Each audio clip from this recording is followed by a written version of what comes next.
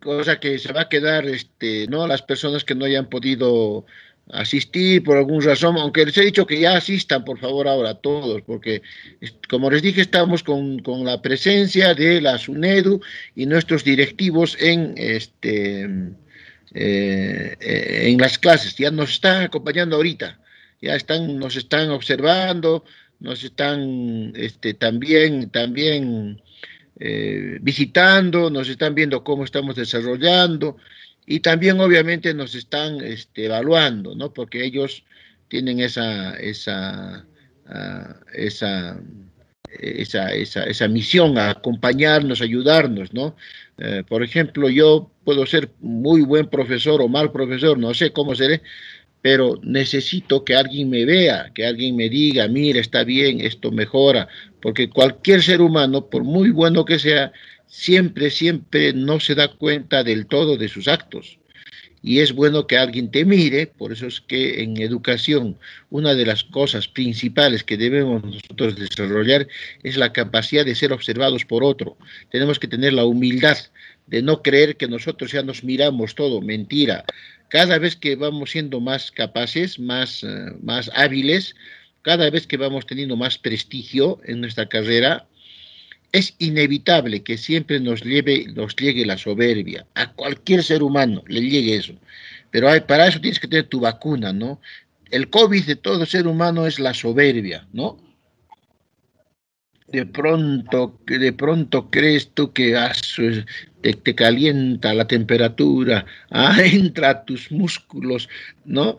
te, te, da, te da bronconeumonía, ¿no? Es como el COVID, ¿no? Es un virus, ¿no? La soberbia. Cada vez que uno está triunfando, cada vez que uno está triunfando, siempre, siempre, siempre, siempre, siempre existe el peligro de la soberbia, ¿no? Eh, entonces, el peligro de la soberbia hace que tú creas que estás, pues, este, totalmente inmune, que te hace ver que totalmente tú eres infalible, ¿no? Y un momento llega en que no escuchas a los demás.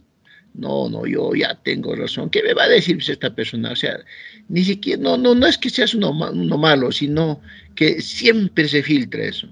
Y entonces, uno de los problemas de la educación en el Perú es ese, ¿no? Ese que, que hace que este, pensemos que, que nos está mirando, que nos va a mirar, pues, si yo ya todo, mentira, mentira, el que menos crees, la persona más sencilla, más humilde, el que menos te imaginas, te tiene que decir algo.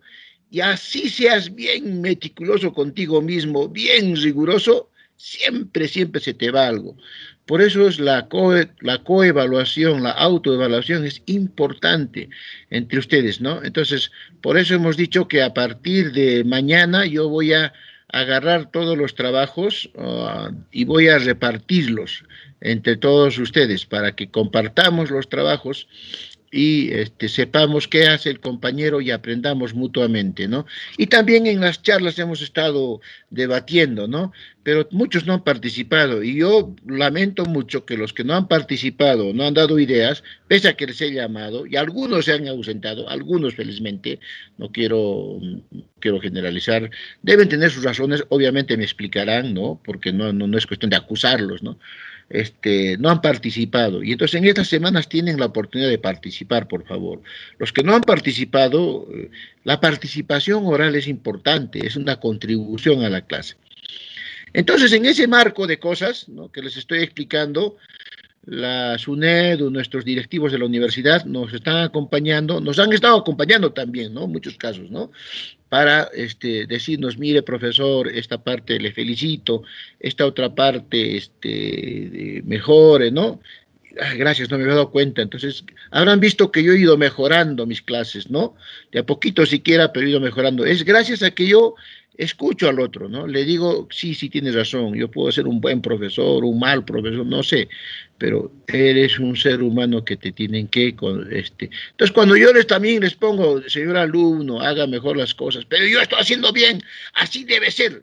Un momentito, señor. Entonces, así debe ser yo que hago acá de profesor, ¿no? Entonces, este, no, así, que así debe ser. Está bien, yo, yo le, admito, mira, sus puntos de vista son razonables, ¿no? Pero por esta razón, y después le se calma el alumno, sí, tiene razón, profesor, ¿no?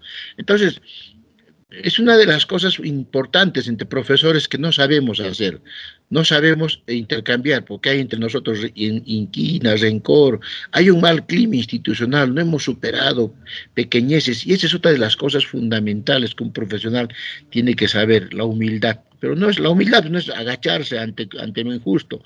La humildad es sentir que el otro sí te puede contribuir, respetar al otro. ¿Ya?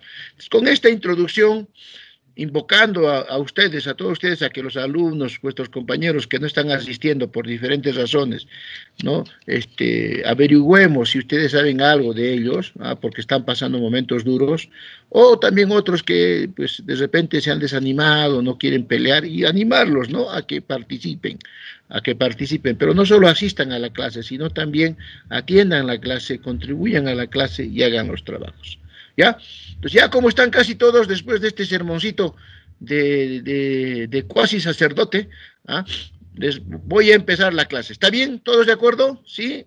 ¿Están todos? Buenos días. Ana, Ángela, Ariel, César, Denis, Diego, Ilia, José, de María, Carla, Lenae, Mariluz, Mayra, Shelly, Yudisa. Vamos a empezar la clase, ¿está bien? Con el ejemplo. ¿Está bien? ¿De acuerdo? Díganme algo. Sí, profesor. Empezamos. Voy a compartir pantalla.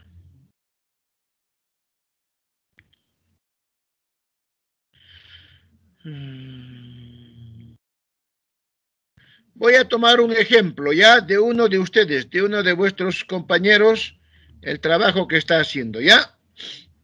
Entonces aquí le he puesto algunas modificaciones, lo he enriquecido más para que sea más didáctico, planteando soluciones frente a las causas más profundas del problema estratégico estructural de la realidad peruana. Perfecto, así se va a llamar nuestro S1, ¿ya? Código del trabajo S1, ¿no? Entonces aquí cito, eh, ¿ya? Eh, todo lo que hemos hecho antes, ¿no? Ya, tomar en cuenta, tomar en cuenta la causa más profunda, ¿no? ¿Y cuál es su causa más profunda? Acá con cafecito, ¿no? Para ser didácticos. La causa más profunda, ¿no es cierto?, en el trabajo del alumno que estoy tomando su ejemplo es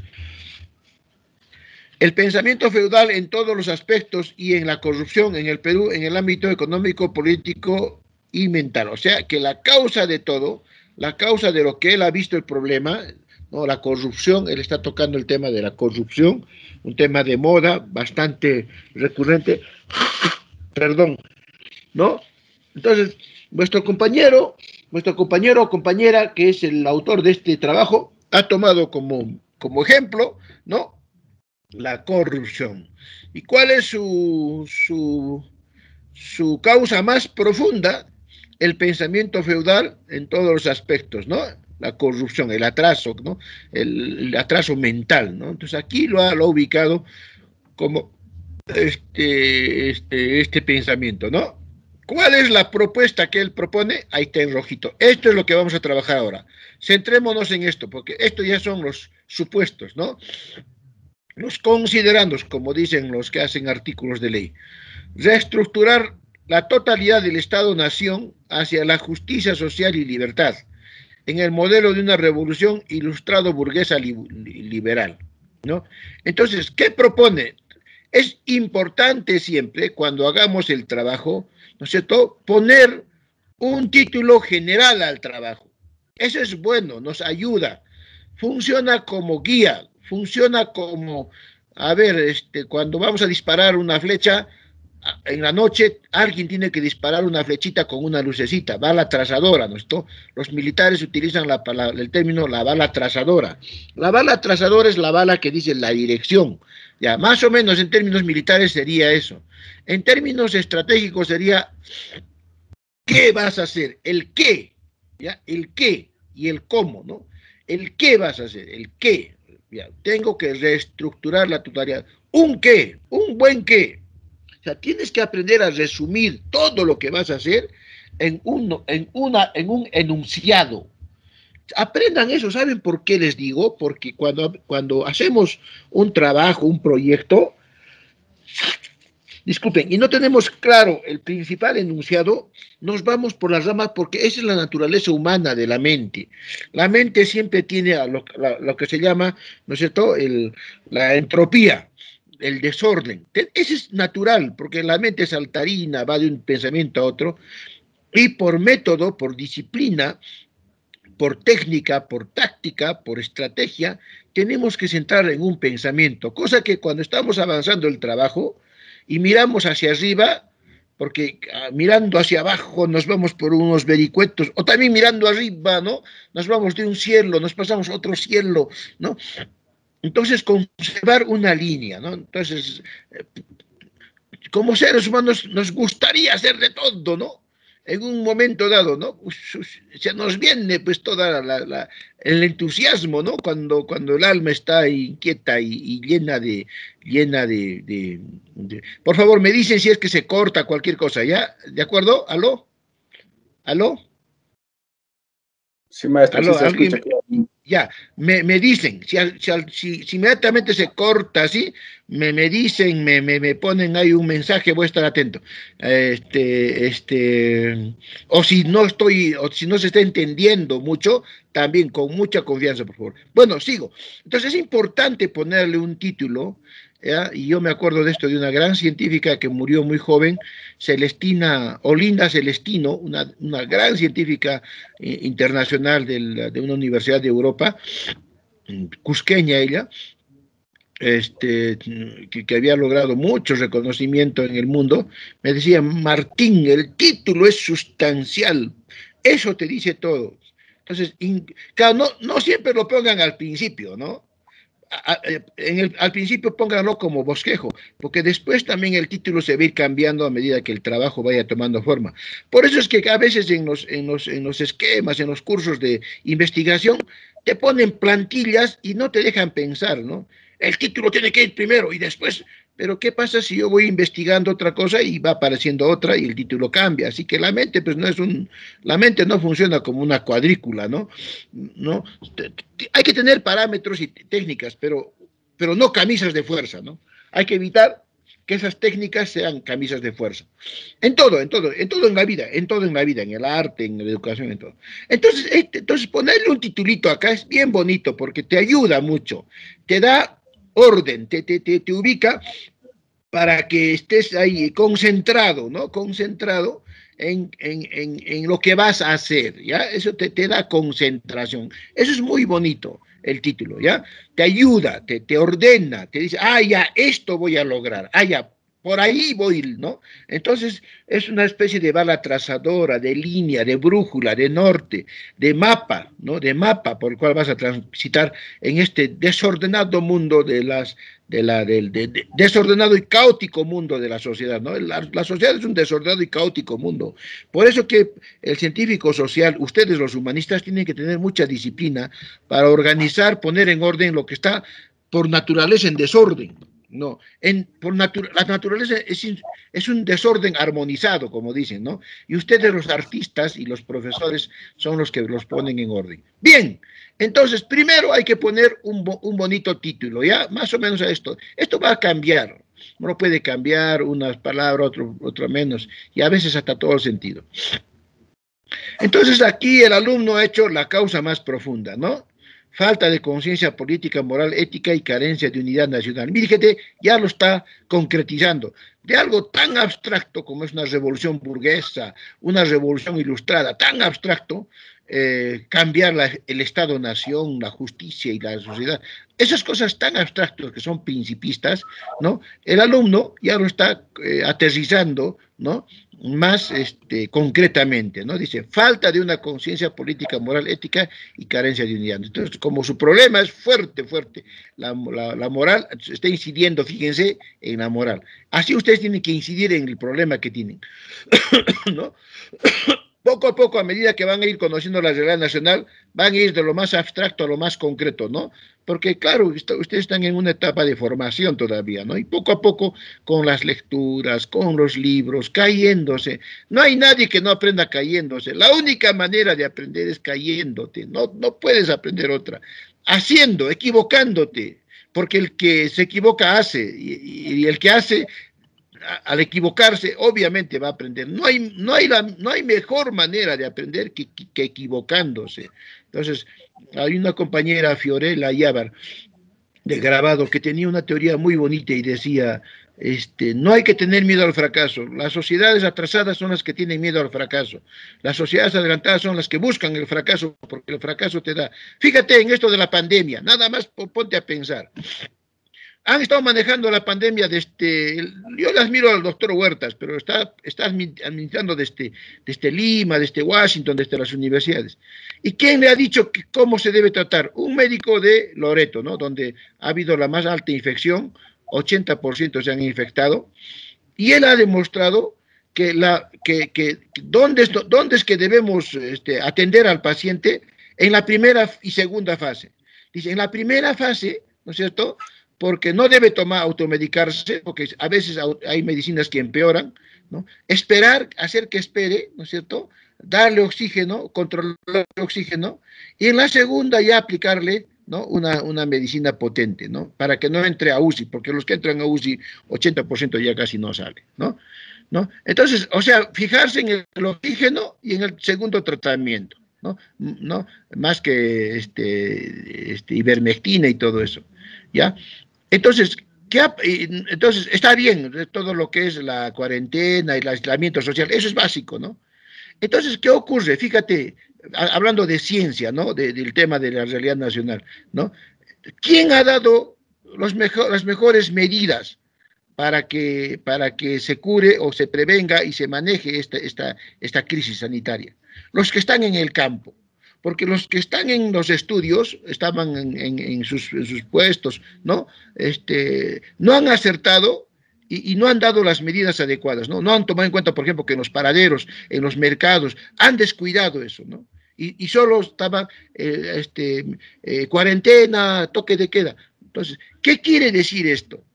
Que, que que no hemos tenido, no tenemos un sistema educativo científico que, que, esté cambiando nuestras propuestas a, medida que la realidad vaya dándonos los datos. O sea, tenemos un sistema educativo muy, muy, muy enciclopedista, ¿no? Que, que, nos da datos, es cierto, el dato es importante, pero el dato por el dato, ¿no? Te pongo un PPT, dime cómo haces el PPT, qué decía aquí, qué concepto, no, no, dice tal palabra, cuál palabra, ¿no? Entonces, más o menos eso está ocurriendo en el Perú, en esta crisis, ¿no es cierto? Y lo que yo quería decirles es que este, eh, los trabajos que van haciendo ustedes, cualquier proyecto que van haciendo ustedes, a eso iba, ¿no? Va a cambiar con la realidad. O sea, ante todo, lo más importante es que ustedes vean la realidad, a ver cómo se aplica esto, ¿no? No es así, nomás se aplica, ¿no?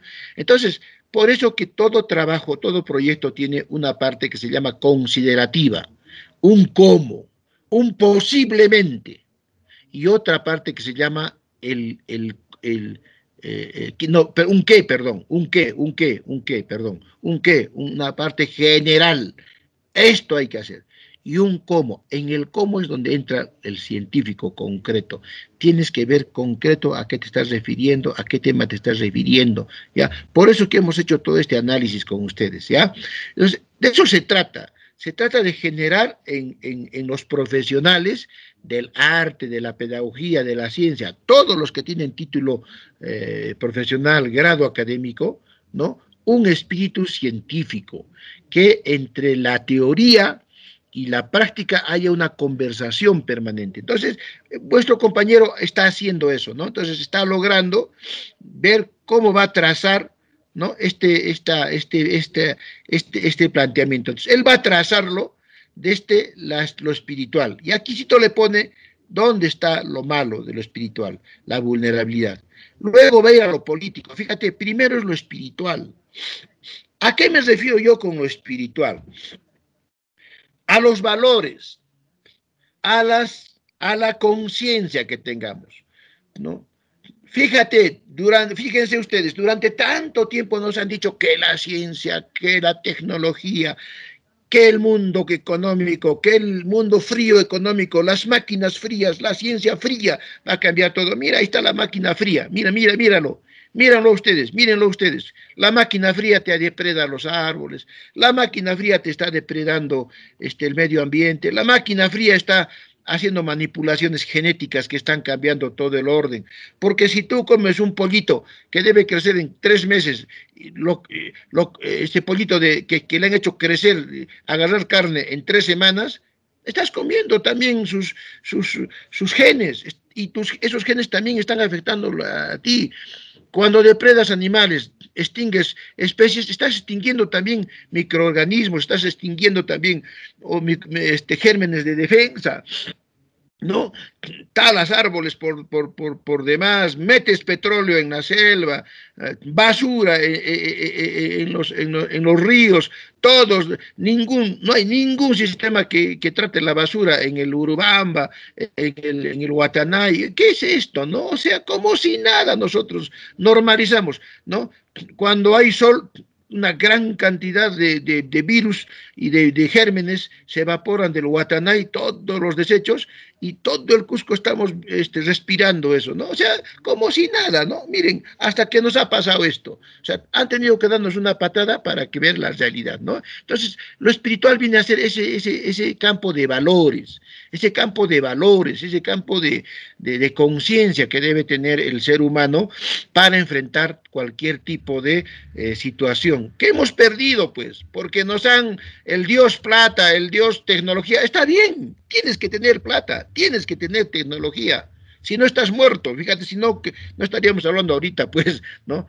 Pero no, no, no, no, no lo endiosifiques y, no, y, y, y en nombre de eso no, no, no, no mutiles tu alma, ¿no? Y eso es lo que ha ocurrido, ¿no?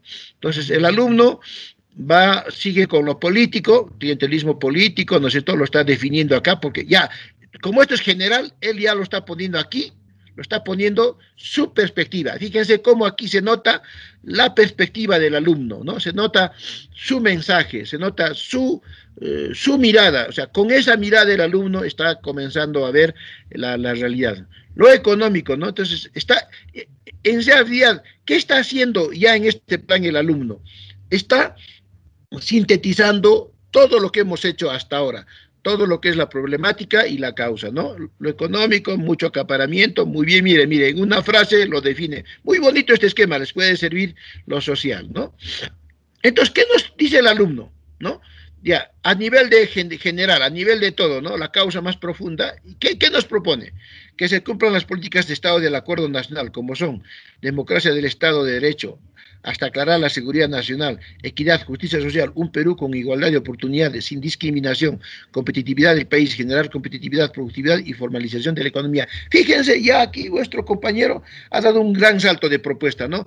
Ha, ha ido de, impulsar la unidad nacional, de la, de la, de, del Estado-Nación, o sea, prácticamente estos grandes enunciados de, una, de un Estado de justicia social, libertad, este, revoluciones burguesas ilustradas, todo este propuesto, lo que llaman la segunda ilustración, ¿no? Todos los humanistas del mundo están hablando de lo que es una segunda ilustración. Si ya lo está poniendo ya en concreto, mira, va aterrizando, esto se llama concretización.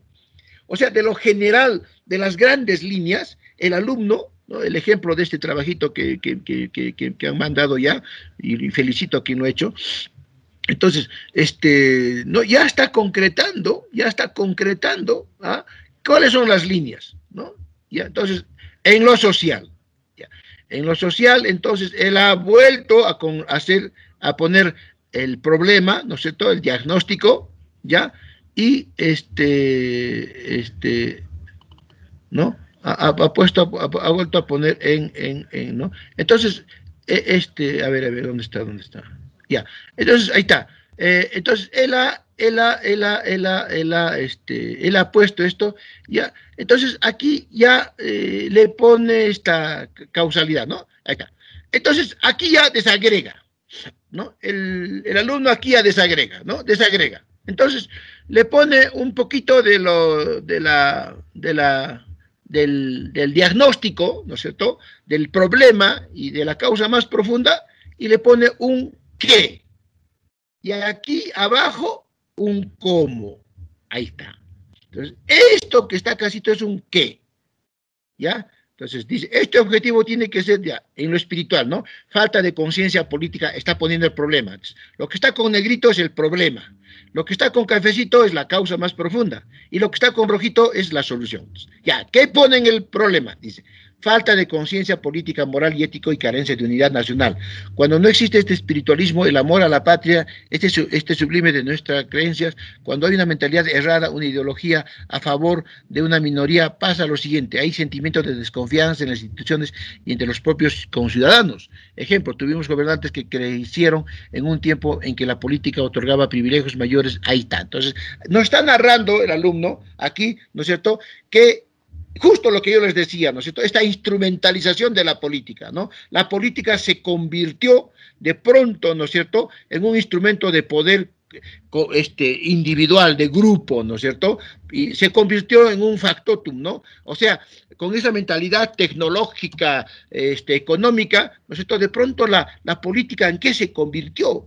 En el aparato de hacer cualquier cosa, hacer obra pero ya pues, el hacer obra ya no tenía una connotación, un significado de mejorar la vida, de, ayudar a la gente, justicia, no, no, sino hacer obra. La gente te pedía obra, obra, obra, obra, obra, como pensando que eso te, iba a resolver una carretera, pero no es una carretera, es, es, es, es una comunicación justa mediante la carretera. O sea, es al revés. O sea, primero es yo necesito comunicarme con el otro, encontrarme con el otro, ir donde el otro, a tener una comunicación justa de comercio, de política, de parentesco, de, trabajo, no sé. Ya, ya, ya. Para eso sirve la carretera. O sea, hemos puesto la carretera, o sea, el asfalto, por encima del fin del asfalto. O sea, el fin del asfalto era recorrer, viajar, ¿no es cierto?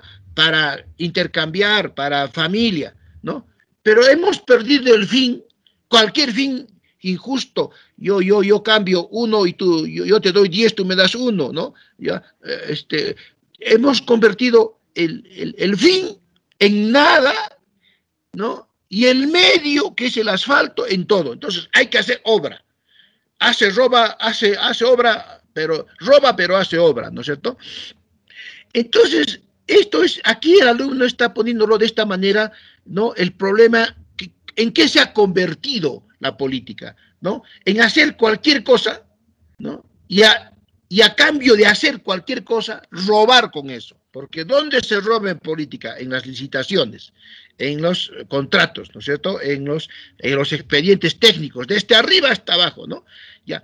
Entonces, aquí eh, él pone, ¿no es cierto? Ya, él pone el caso, ¿no? Concreto. ¿no? El caso, ¿no? Dice, el problema estratégico. En la actualidad, a causa de esto, vemos a diario autoridades abusivas, hiperpotentes, al funcionario público y oportunistas, al empresario interesado. Entonces, ah, mira, esta unidad entre empresario y, autoridades, ¿no? Eh, grupitos, ¿no? O sea, este grupito que él dice se llaman corporaciones, se llaman, digamos, este, clanes, se llaman mafias, se llaman cárteles, ¿no? ¿Ya?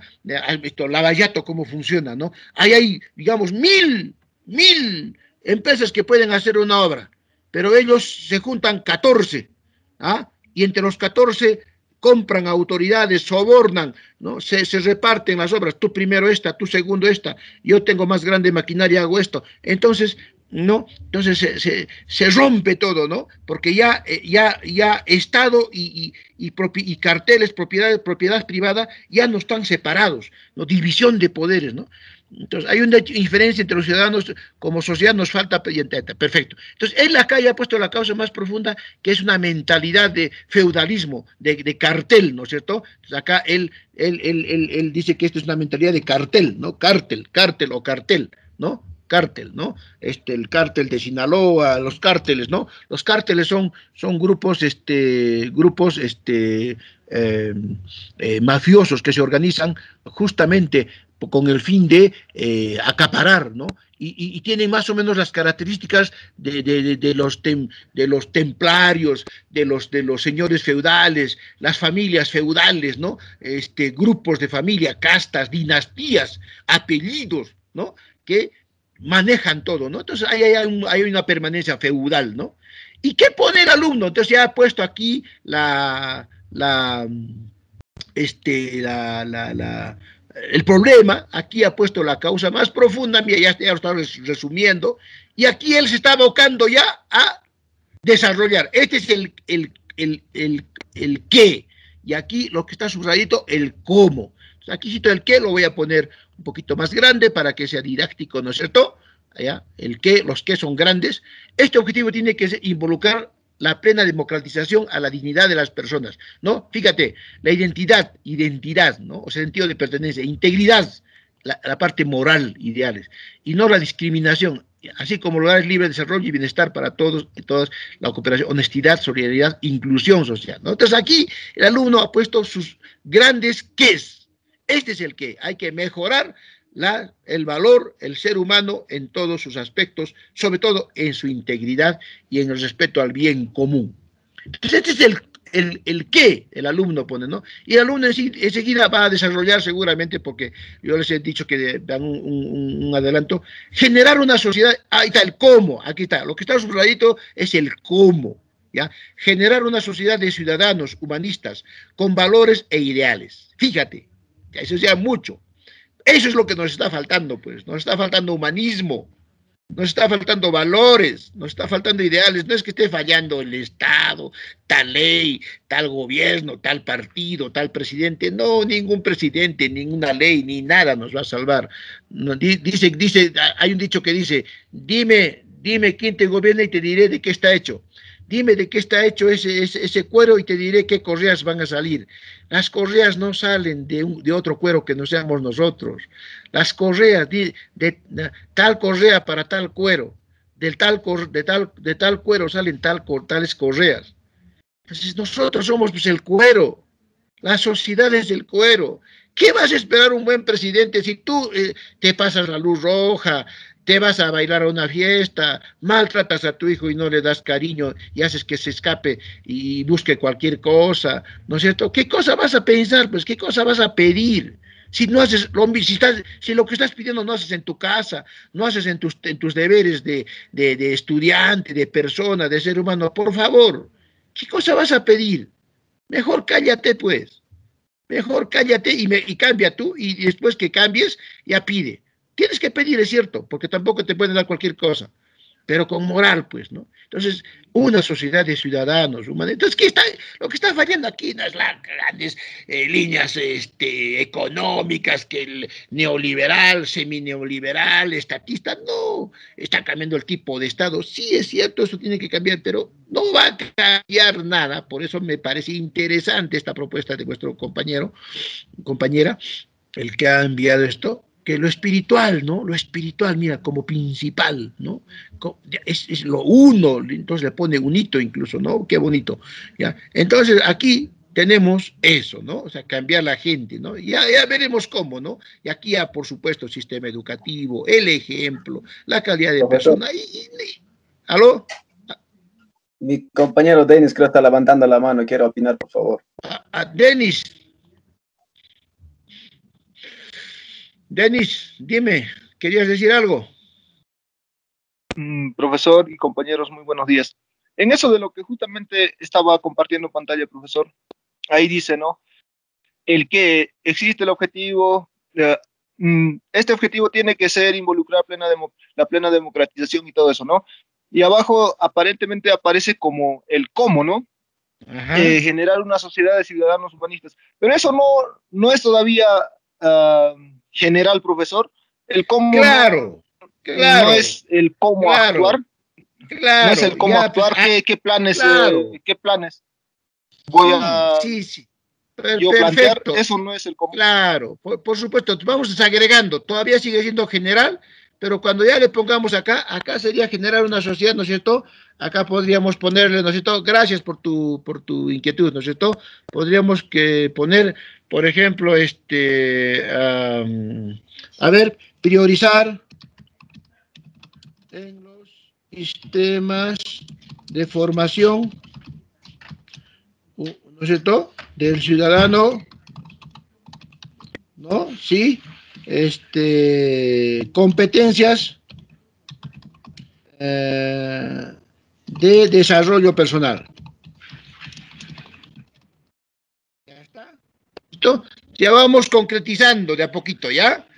Otra podría ser, por ejemplo, si, este, digamos, una, un control ciudadano de los medios de comunicación, no, no del Estado, ¿eh? comunicación, ¿no es cierto? De los medios de comunicación que difundan antivalores. Ya está, ¿no? Y así, vamos a ir desagregando, ¿ya? ¿Me entiendes? Obviamente que todavía sigue siendo general esto, ¿no? Pero ya es menos general, ¿no? Vamos bajando, bajando, bajando, ¿ya? Entonces, este, pero esto sí es muy general, ¿no? Y esto es ya va, va, va desagregándose, ¿no?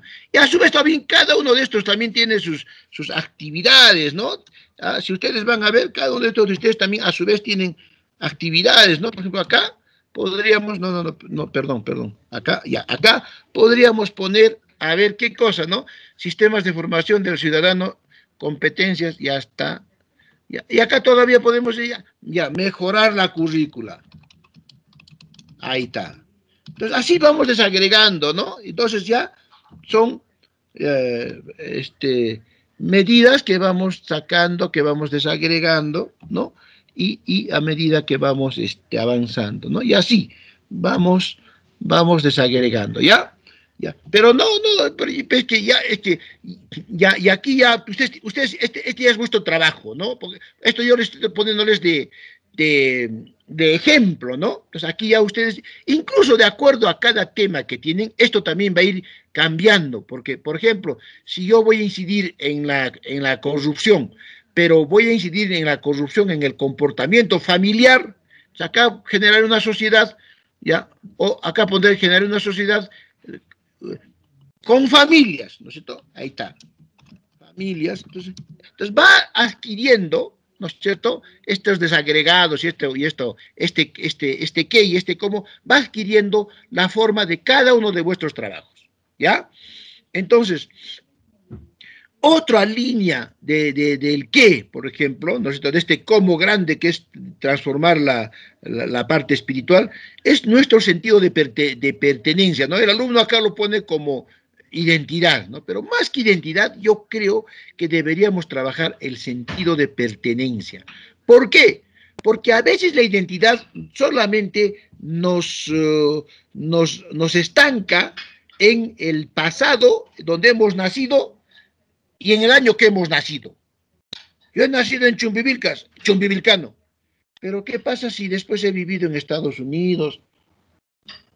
Luego me he ido a Europa, he adquirido ahí conocimientos. He nacido pues en, en Chumbivilcas, pero a los mesecitos me han llevado a, a, Estados Unidos, he adquirido mi, mi, cultura, ¿no? Como, como José María Arguedas, ¿no? José María Arguedas nace en Andahuaylas, pero bebito se lo llevan a Puquio y en poco adquiere todo el conocimiento de, de Jorisisicha, de, de Rasuñiti, del Taquionco, no. Y es, es este, es, es, es, es andahuaylino, sí, pero también es puquiano. Pero después se va a Sicuani, a estudiar en, en el colegio, eh, enseña en el colegio Mateo Pumacagua y ella adquiere otras costumbres. Es también entonces canchino. Después se va a Lima, al Museo este, de Antropología, y, trabaja muy, muy bien y presenta su tesis sobre las comunidades campesinas, donde demuestra que las comunidades campesinas del Perú son el modelo de las comunidades de España. Y por eso también adquiere otra identidad, comienza a adquirir la cultura española, ser antropólogo. Entonces la palabra identidad a veces te, te circunscribe solo a un momento de tu vida. Vargas Llosa. Vargas Llosa nace en Arequipa, pero gran parte de su niñez lo pasa en Bolivia, en Cochabambas. Y ahí adquiere toda la cultura boliviana, de los collas, los cambas, todo. De ahí se va a, París y en París está desarrollándose. Entonces, ¿qué cosa es? es arequipeño, es boliviano, es parisiense.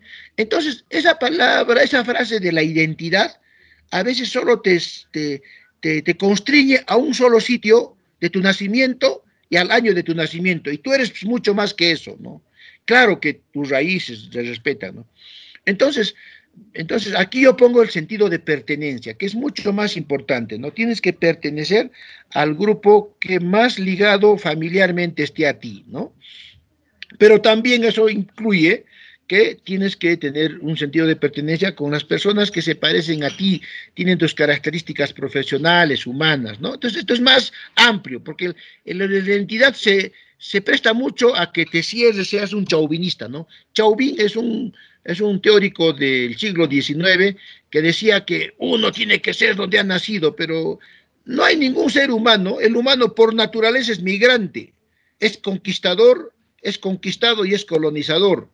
Es, es natural en el ser humano migrar, conquistar, ser conquistado, es natural. Claro que ahora eso, eso, no, debe, eso no debe incluir eh, pisotear los derechos del otro, eso sí, ¿no? eso sí es sagrado, los derechos del otro, ¿no? Entonces, esta, este, esta palabra de identidad está bastante este, en debate, yo diría, en debate, eh, sigue, sigue todavía teniendo vigencia, pero habría que más bien tener mucho cuidado en usarla, ¿no?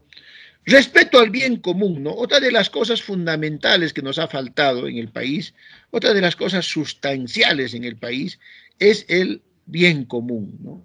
Es el robo. El bien común es un concepto abstracto moderno, moderno, ¿no? Con el cual siempre ha luchado el ser humano. Por eso es que hasta en la Biblia, en las grandes teocracias monoteístas, el judaísmo, el islam, el cristianismo, ¿no? El no robar, por ejemplo, es una cosa importante, pero siempre hay esta trascendencia. Ahora, tengo yo la idea tengo yo la, tesis de que el robo, el robo en gran parte de nuestros políticos y nuestra gente es parte de su cultura, parte de una cultura feudal. El señor feudal, ¿cómo adquiere sus, sus bienes? Adquiere robando, pero al robo le da un, un, un sello más, este, digamos, glorioso, ético. Le dice, no, es mi derecho es mi derecho divino. Algún ser, yo no estoy contra los católicos, contra los creyentes, mis respetos, ¿no? Pero entonces, entonces ese, ese concepto de que yo merezco todo es un concepto bien antiguo, pero para dar el salto que hemos hablado, se necesita que tú abstraigas que el otro ser humano, por ejemplo, yo vivo en Cusco, yo como considero como igual peruano a uno que vive en la punta del norte de Piura no es por conocimiento concreto, porque yo nunca le he visto, es por conocimiento abstracto. Y el conocimiento abstracto requiere que tú tengas una educación, algo así como ahora para dominar a los que dominan, a los, a los que manipulan la tecnología y la genética, necesitas para ser ciudadano conocer algo de genética y informática. Igual, para que tú seas un ciudadano respetuoso del bien común, tienes que separar lo que es tuyo de lo que es de los otros, o sea, la res pública. De ahí viene la palabra república. O sea, el respeto al otro, al bien común de los demás. ¿Ya? Y ese respeto que en muchos de ustedes es nato y natural, en mucha gente que, que, está todavía en la clase política no es natural. Por eso ustedes dirán, ¿por qué roba con tanto cinismo y tanta frialdad? Porque no está pues en su cabecita de Alan García, de PPK, de Toledo, de estos políticos que todavía felizmente ya están extinguiendo, en su cabecita, y muchos funcionarios, ¿ah? alcaldes, gobernadores, muchos también de, en otras instituciones, no está en su cabecita esa distancia, esa diferencia. Por eso la frase la plata me llega sola y este artículo que les he mandado, la república no llega sola, muy bonito, es el resumen de todo y también lo que han visto en El Padrino. No me digas a mí, ¿por qué vas a la policía? ¿Por qué no vas donde mí? No existe policía. Para el mafioso feudal no existe policía, nada. Es parte de su chacra, de su hacienda de su res, de su cosa nostra. Entonces, no es solo un problema de ética, es un problema de concepción del mundo bien profunda, señores alumnos. El problema de la corrupción y de la mentalidad de la corrupción no, no se resuelve solamente con cárceles o leyes, es algo más interno. Personalmente yo he tenido oportunidad de ser, eh, ocupar cargos públicos, estar cerca de la política, ¿no? Por, por mi misma actividad. Y he notado esto, he comprobado, no solo con mis lecturas de Basington Moore, no solo con mis lecturas de los grandes sociólogos, Foucault, los, grandes eh, historiadores como, como este, de larga duración, como Fernand Brodel, no, no, no. Todo eso que he leído, que en la que me he formado, lo he comprobado en el mismo campo. Realmente están creyendo que les toca robar y que lo están haciendo porque les corresponde. Y están convictos y confesos. Hay una película, los que tienen Netflix, vean, que se llama 22 de julio, de un neonazi que va y mata a la gente en, Noruega. Mata a niños inocentes. ¿Por qué? Porque el gobierno está permitiendo que entren este, marranos y impuros latinos a nuestro país. Acá hay negros y acá hay de otras razas. O sea, estaba bien seguro el chico el que dispara una cantidad de jóvenes, que el mundo tiene que ser de una sola raza, de un solo color, y, lo peor que cree que hay razas en el mundo, ¿no? O sea, hay gente convencida ahorita, ahorita en este momento, viviendo, aunque no lo crean ustedes, señores alumnos, que creen que les corresponde un puesto público y robar y sacar el dinero y enriquecerse, ¿no? Entonces, ahí está el punto, ¿no? ¿Cómo hacer esta sociedad? Ya, y seguro, como dice vuestro compañero Denis, aquí les desagregaremos, ¿no? Ya, ya, ya programas. ¿ya? Entonces, se divide en actividades. A su vez, esto se divide ya, cuando hagamos planificación estratégica, van a ver cómo se divide en en actividades, en acciones, proyectos y programas, ¿no? Eso ya después, pero ahorita vamos a tener un conocimiento este, general de la realidad nacional. Mejorar nuestra calidad de participación ciudadana. Aquí está el punto, señores alumnos. Aquí está el punto. Esto es el, el, punto de lo espiritual. No somos ciudadanos. Así que no solo digamos, pues, qué está pasando con el gobierno, con las grandes corporaciones que nos roban. No, señores, ¿Por qué no hay una economía capitalista de mercado, una competencia sana en el Perú, no farmacias que, han hecho lo que les da la gana en estos días? Por ejemplo, ahora sabemos que la gran cantidad de muertos por el coronavirus han sido los que se han metido este, eh, dexamethasona, o sea, este, este, este antibiótico que se metían, que más bien empeora. Y muchas farmacias han estado haciendo propagandas con eso y nadie les ha dicho nada. Entonces tienen todo el poder, tienen autoridades, tienen gente que por alguna manera ponen a sus autoridades, ¿no? Entonces, pero ese no es el problema, porque siempre van a haber estas corporaciones, siempre hay el mal. El problema somos nosotros, nosotros, ya a, la metáfora del de qué cuero salen las correas. Nosotros seguimos siendo el cuero, pues. Nosotros, entonces, ahí está, pues, carambas, el problema. Nosotros no estamos siendo ciudadanos. Seguimos creyendo que la política es para vagos y que, que participar en política significa ser terrorista, este, destruir cosas. O sea, ¿de dónde? O sea, nos han metido, nos han, nos han, nos han demonizado, nos han, este, nos han, han satanizado, ¿no? Utilizar una palabra común, eh, la participación política, al grado tal en que nos han convertido en lo que nos han convertido ahora, ¿no? Unos, unos, unos espectadores este, eh, cómplices, ¿no? Entonces, esa es otra de las cosas que hay que trabajar, ¿no? Y acá, como dice Denis, lo, lo, seguiremos desagregando. Construir la sociedad educadora, ¿no es cierto? La sociedad educadora. ¿No es cierto? Acaba de salir un decreto 326 del Ministerio de Educación, donde justamente dice, pues, la sociedad que colabore. Y ese es pues, el problema, justamente. Pobrecitos, a los maestros les dejamos todo, todo al pobre maestro. Y el pobre maestro, pues a veces dice, ah, ¿qué, voy a hacer? Pues no, muchos de ellos este, se relajan, otros de ellos dicen, a mí me, me, me, me, me ponen todo, ¿no? Lo asfixian, ¿no? Y las UGELES y las DREG, que están ahí como unos aparatos que muchas veces no funcionan y mucha corrupción ahí. Había un, corruptómetro que decía que los más corruptos después de la policía eran las, las UGELES y las DREG, ¿no? Bastante corrupción, había un dato ahí. Pero lo peor de todo no es eso, no son ni las UGELES ni el ministerio que tiene mucho burócrata y a veces solo te pide papel, papel, papel, papel. No, no es eso. Lo, lo, lo, lo malo es que la sociedad no está participando en la educación. La comunidad campesina no está participando, los padres no están participando, ¿no? Entonces, una sociedad educadora, ¿no?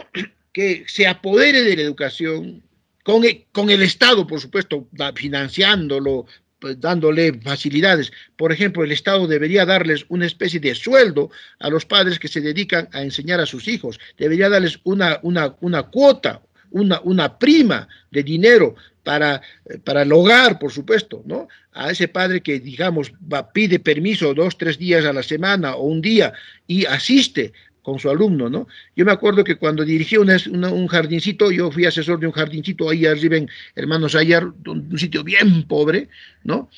Y hice, pues, no, un día con el alumno, o sea, hice un programa, un día como alumno. A los papás los hacía sentar junto con los chiquitos de 3, 4 años, ahí haciendo sus, sus legos, haciendo su, su, plastilina, ¿no es cierto? ¿Ya? Entonces, este, y potenciamos mucho la educación. ¿Y qué hacíamos? Les dábamos con los, con los fondos que teníamos de cooperación internacional, ¿no? Le dábamos, este, digamos, cinco, eh, cinco bolsitas de alimento, ¿no? Por, por, por, por, cada semana que venía, ¿no? De, con, con diferentes cositas. Ya, pues entonces, de alguna manera, ¿no?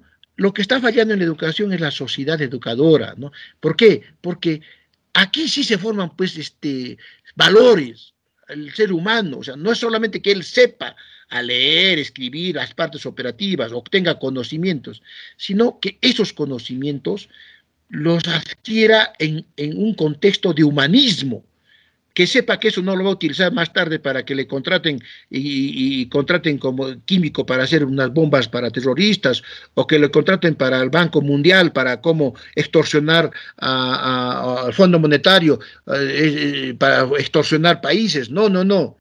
No, no, sino que, que, que, sepa que el trabajo también que va a realizar tiene que ser un trabajo con ética, ¿no? Desarrollo humano permanente, ¿no? ¿No? Entonces, esto es importantísimo, pues, ¿no? El desarrollo humano es lo que nos está fallando. Hemos convertido la educación, todos, ¿ah? no estoy diciendo tal o cual institución, todos, por eso es que ahora pues mm, este, se está priorizando esta parte, ¿no? En solo instrumental, solo titulación, solo hemos convertido la educación en cómo hacer bien tu trabajo, pero no cómo vas a ser como ser humano, ¿no? Reducción al mínimo de todo pensamiento atávico que atente contra la libertad humana. Ahí está todo pensamiento atávico, feudal, que vaya con, con, la explotación, que, que, no considera al otro ser humano, que, que, que esto, que, crea que eh, la plata llega sola y todo me corresponde y puedo hacer lo que me da la gana. Eh, la cuestión es llegar al poder y aplastar a los demás. Eso no es el fin de la vida. El fin de la vida no es el éxito a cualquier costa, aplasto, vendo lo que sea, te, no, no. El éxito bien, pero come el pan con tranquilidad. Disfruta tu platita, tienes el derecho, disfruta tu éxito, tienes el derecho, pero no a costa de los demás. Y así, ¿no? El alumno en lo político, lo mismo hace, ¿no? en lo político, él ha propuesto que el problema es la falta de división de poder y falta de, del, control del poder. ¿Y cuál es el, origen? Que hemos tenido una república aristocrática con, feudalismo ahí dentro, ¿no es cierto? Con, con, con, monárquicos. ¿Y cuál es la solución? ¿Cuál es el, el, el qué? ¿no es cierto? Un Estado transparente, con contrapeso de poderes, ¿no? Y aquí nos describe esto, la lucha por la democracia y el Estado de Derecho pone acá, y aquí también entonces hay que ponerle más, ¿no? Este, generar estructuras de poder con contrapesos, descentralizar el poder hacia regiones, reestructurar todo el sistema de partidos políticos, reestructurar y democratizar los gremios, ¿no? En lo económico, ¿no? Vuestro compañero, ¿no? Hace, de frente acá ya entra a la causa más profunda, ¿no? Que son los monopolios y las corporaciones, y acá propone que hay que superar las, las, los monopolios, ¿no es cierto? Y aquí te, te pone más, ¿no? cómo está la economía, te, te, te, pone líneas, ¿no? Y acá ya, ya el qué, el qué tener una economía inclusiva, ¿no? Con contrapeso de poderes, con, con, mercado social libre. Y aquí te pone, ¿no? Construir una economía social de mercado plena, cambios constitucionales que dan sobre poderes por encima de la nación a corporaciones privadas económicas, potenciar los mecanismos. Y así, ¿no? En lo social también vuestro compañero hace un análisis de la, de la, del, del problema estratégico, ¿no? Y aquí su causa más profunda, que son las divisiones sociales, el clasismo, la mentalidad aristocrática que te divide, Pueblos desarrollados enormemente y otros chiquititos, ¿no? Entonces, distribuir y un enfoque integral de la política social, te pone todo esto, te sustenta y aquí te pone el cómo, ¿no? Construir una sociedad sin enormes brechas, garantizar una mínima calidad de vida, mayor cuidado del medio ambiente, mejorar, ¿no? Y así, ¿no? Entonces, uh, este es un ejemplo que pongo, ¿no es cierto? Hasta aquí, para no aburrirlos, algunos están durmiendo, ¿no? Este, el debate. ¿Qué les parece?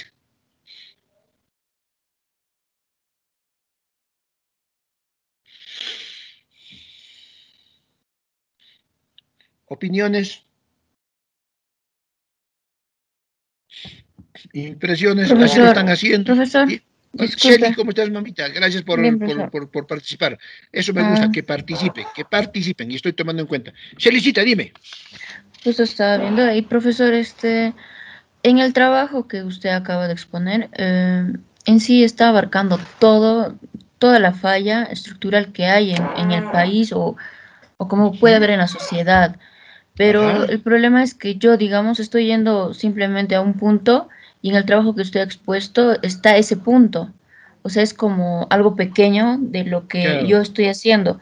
Pero ¿cómo podría ser yo ese problema que englobe en total, eh, usted ha visto mi trabajo y en- que englobe todo en sí, porque ahora yo veo y digamos la discriminación está dentro de lo que, donde está, donde acaba de exponer usted el trabajo, entonces tengo como que una duda, o es que todos los trabajos van a ser en sí la solución a toda la estructura del país, o, o es digamos, eh, digamos un problema que puede haber el medio ambiente, la contaminación, digamos. Profesor, Ya. eso A ver, explicarme. ¿Se acuerdan ustedes cuando hicimos el problema estructural, estratégico, perdón? ¿Por qué dijimos que era estratégico? Porque ese pasaba por todas las estructuras del país, que de alguna manera tocaba todas las estructuras. ¿Se acuerdan?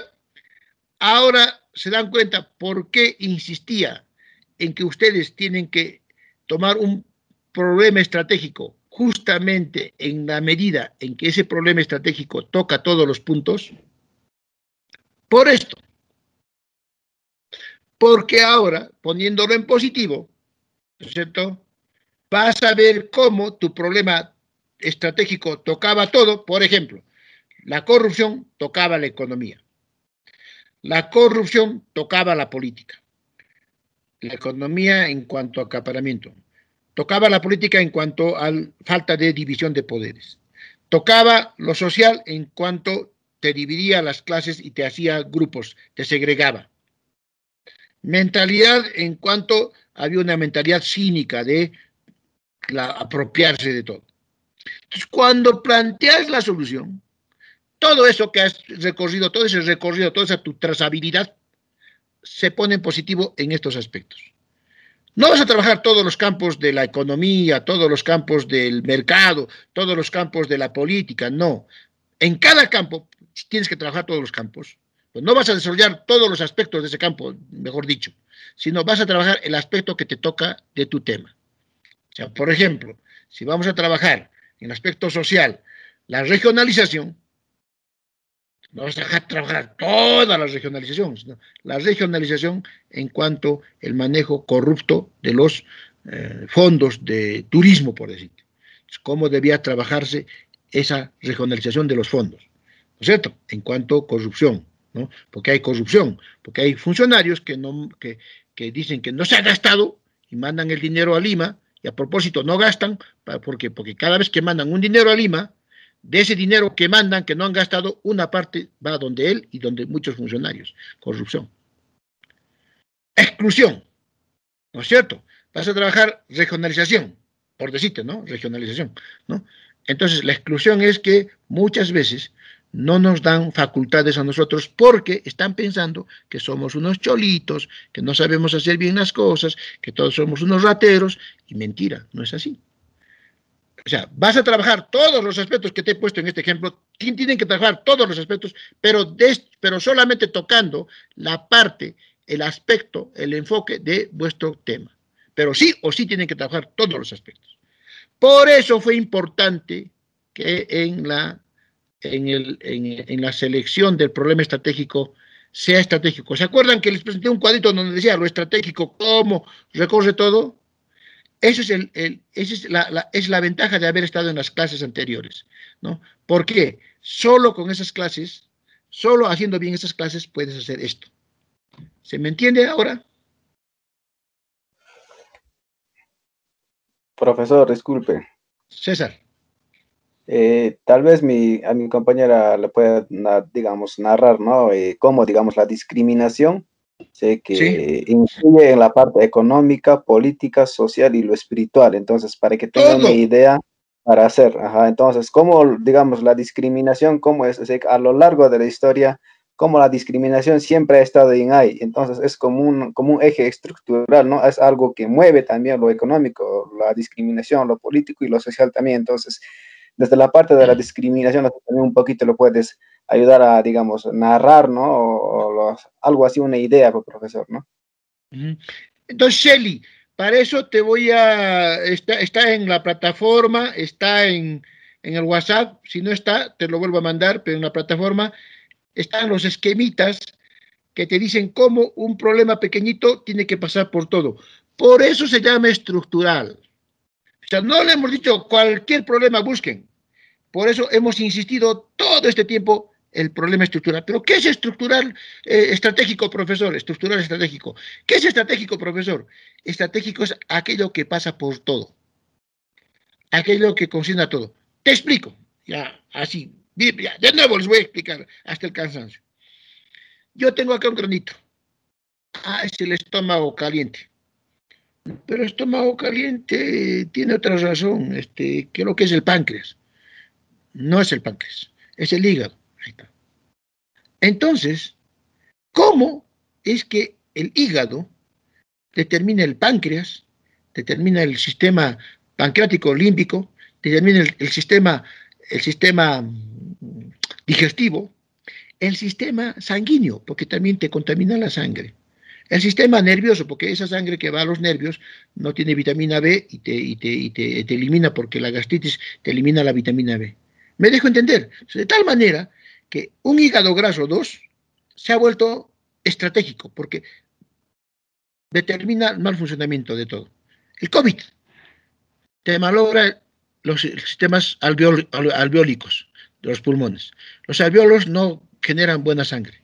La sangre no coagula bien, la IMG que llaman así. El coágulo que no hace, que, sobrecoagula y, hace pequeños globitos en la sangre. Eso te impide el estómago y mueres por este infarto. ¿Qué tiene que ver el COVID con el infarto? Es estructural, pues. ha atacado toda la estructura. Una, otra, esta, otra, esta, otra, atacado, esta, atacado. Es, ese, por eso es la trazabilidad. Por eso era importante que sigan la clase, hagan esto, porque les va a servir para vuestros planes de, para, para programar cada año vuestras actividades, tienen que hacer este diagnóstico. ¿Cómo voy a programar? Pucha, aquí está ya la masa de conocimientos, aquí está la currícula de arte, aquí está, este, ¿qué, cosa? ¿Qué, programo? Tengo que ver, a ¿qué necesita el niño? ¿Cuál está de moda? ¿Qué, qué, qué, qué, qué, qué sensaciones tiene de moda? ¿Dónde está la sociedad? El, niño, ¿en qué sociedad va a vivir? ¿Qué, tengo que desarrollar? Hasta para, para iniciar. ¿Ya? ¿Qué cosas necesito? ¿Qué, ¿Qué competencias necesita ese niño para vivir en la sociedad? Ah, tengo que conocer la sociedad, ¿no es cierto? Ay, sí, pues sí, sí, sí. Entonces vamos a participar todos en el PI, ¿ya? Vamos a reunirnos en el colegio, vamos a hacer el PI, el Proyecto Educativo Institucional, diagnóstico. Diagnóstico de la realidad local, ¿ya? De la realidad de la red primero, de la, institución educativa. Segundo, de la localidad, eh, distrito, provincia. Segundo, región, el plan educativo regional. Tercero, la nacional, porque todo está con... Tienes que conocer todo esto. ¿Cuál es lo estratégico? ¿Cuál es, a ver, qué le voy a enseñar? ¿Qué competencia es? ¿Y, y en qué sentido le voy a enseñar la competencia? Porque la competencia es muy general. Para saber qué actitud voy a crear en ese chico, para que a su vez esa actitud de niñito, de chiquitito, le sirva positivamente cuando enfrente un mundo que viene. ¿Cómo voy a planificar si no sé el mundo que va a venir? ¿Y cómo voy a saber el mundo que va a venir si no sé lo que ha venido? O sea, fíjense, una cosa que parece tan chiquitita. Claro, como nosotros no matamos gente, un médico falla, mata gente. Un ingeniero falla, se cae el puente, mata gente. Ah, pero como no ves tú cómo matas el profesor, el profesor mata. Si no hace bien, a largo plazo, no te das cuenta y queda impune. Entonces, a eso yo voy, ¿no? Que Justamente para eso era importante conocer la trazabilidad, importante conocer cuán estratégico es un problema. Cosa que cuando solucionamos y hacemos como este soluciona, este soluciona, este soluciona, entonces ya, ya vemos el abanico. ¿Les parece?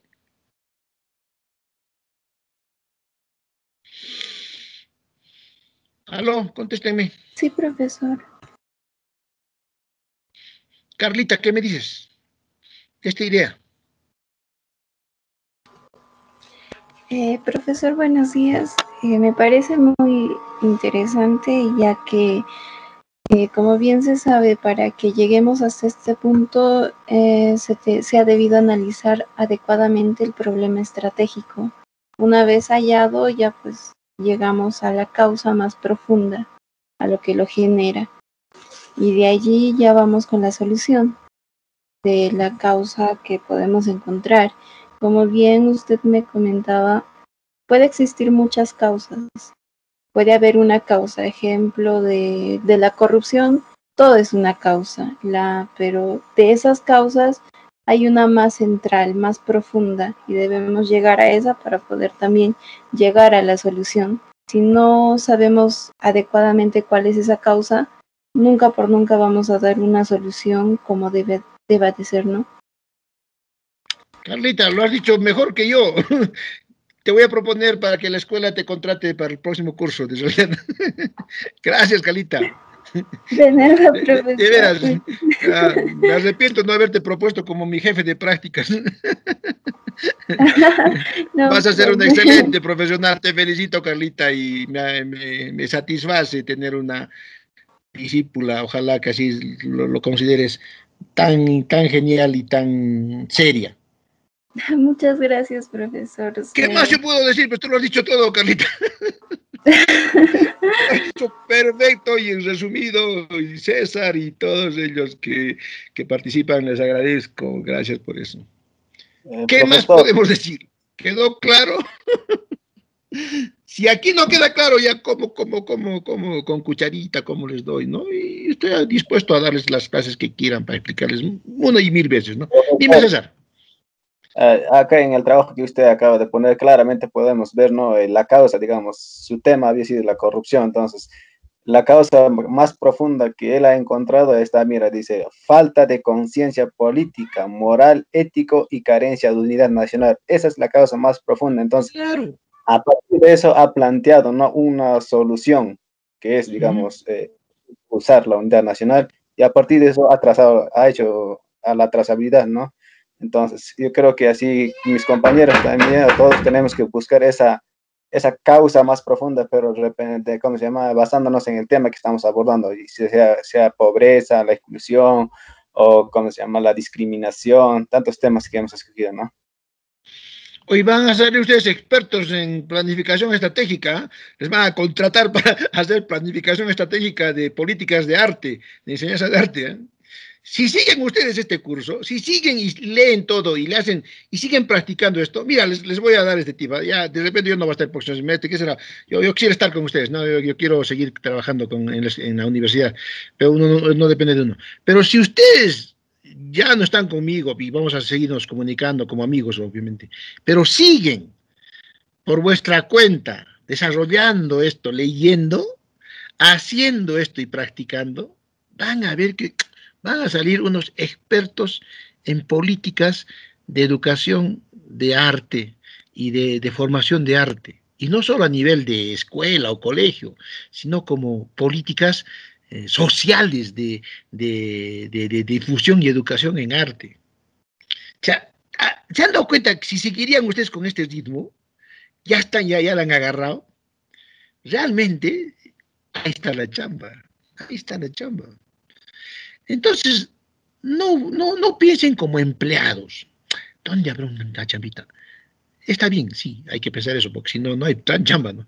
Piensen también como, como gente que diga, no solo, no solo, no, no solo piensen qué chamba hay, sino también piensen qué puedo dar yo a la chamba.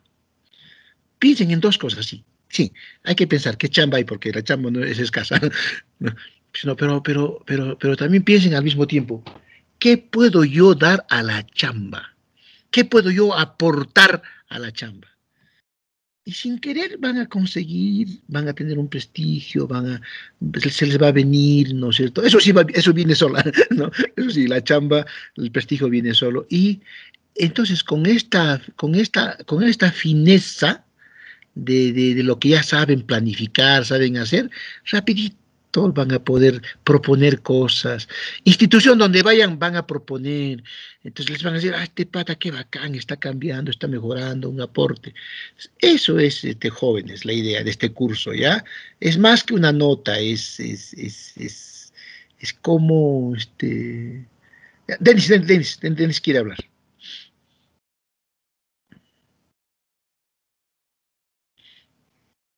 Eh, profesor, disculpe, estábamos, bueno, todas las clases anteriores, lo que dijo mi compañera Carla, hemos tratado, ¿no? Entonces siempre, bueno, uno que otro quizás mm, por motivos también, ¿no? De, si puede o no, quizás no ha asistido, ¿no? Uno o dos clases, ¿no? Quién sabe. Eh, es comprensible, pero sucede que eso lo ha reiterado constantemente, ¿no? Y nosotros teníamos que estar trabajando a la medida que podemos. Entonces, yo de igual manera, como mi compañera, no sé qué estaba interviniendo, yo llego a, esa, a eso, ¿no? Que mi problema era el abismo social, como lo había propuesto Basadre, no era lo que yo había dicho, no, no, eso yo encontré, no, no era una luz, pero me parecía bastante conveniente trabajar en ese tema. ¿Por qué? Porque se sigue dando, ¿no? Y entonces, eh, ese era el problema. Y al final, como ya en alguna intervención anterior he dicho, ¿no? Eh, y justamente recién ahorita contrasto, ¿no? Que ahí, viendo de varias perspectivas, eh, con esa estrategia de la trazabilidad se llega, ¿no? Entonces, o sea, yo veía de esa manera, pero no sabía qué era la trazabilidad, ¿no? Entonces, ahora quizás tengo un poco más de, de luces para poder articularlo eso. Entonces, sucedía, ¿no? Que nosotros estamos con un abismo social porque, eh, y porque tenemos, como bien claro ahí dice también, ¿no? La, la causa profunda de, lo que aborda la corrupción. Hay una mentalidad feudal, pero en esa mentalidad feudal pues no sigue siendo abstracto, ¿no? Quizás no lo podemos concebir muy bien. Y entonces, ¿qué pasa? Eh, en esa mentalidad feudal está pues lo que es eh, la segregación, el racismo, el racismo, todas esas cosas. Y entonces eso yo estaba trabajando. Y así como dice mi compañera que intervenido más antes, entonces llegamos, ¿por qué sucede, no? El segregacionismo, el racismo, el clasismo, y si sigue vigente o no. Y entonces, ¿cómo ataca en los tres ámbitos? Y eso ataca en los tres ámbitos, profesor. No, no es que solamente ataque en lo social, no. Si ataca lo social, está atacando lo político y claramente lo social está más arraigado o más pegado al, a lo que es político que a la economía, ¿no? Pero por eso decimos, ¿no? Justamente antes decía, si digamos tenemos unos políticos así entre comillas, ¿no? Que, que no son buenos, que nos llevan por o por caminos como ellos se han trazado con ese pensamiento y con esas concepciones de valor y de ética, ¿no? Entonces, es porque, uno, no solamente por el pensamiento del político, ahí tenemos que ver que la sociedad está mal. Y eso de antes lo que aclaraba está muy bien. Eso, pienso que eso deben tomar mis compañeros bien en claro. Eh, eso, volverlo a escuchar, porque también está grabándose, ¿no? Entonces, lo social. Entonces, si tengo un político de esa, de esa naturaleza, entonces, ¿qué es? La sociedad también es de esa naturaleza. Como dice, ¿no? La correa sale del, del tipo de cuadro y como usted proponía eso. Entonces, ahí, ahí ya tenemos, mira, lo social y lo político ya tenemos ya articulado. Entonces, lo económico, ya, lo económico también vas a encontrar, pues, como, como esta, este clasismo, también, mira, por ejemplo, en lo económico, ¿no? Eh, justamente hace poco se ha dado, mira, cuánta cantidad de plata se ha, se ha dado con, ese, con esa propuesta de lo que es la reactivación económica. Y ahí es para darnos cuenta también, ¿no?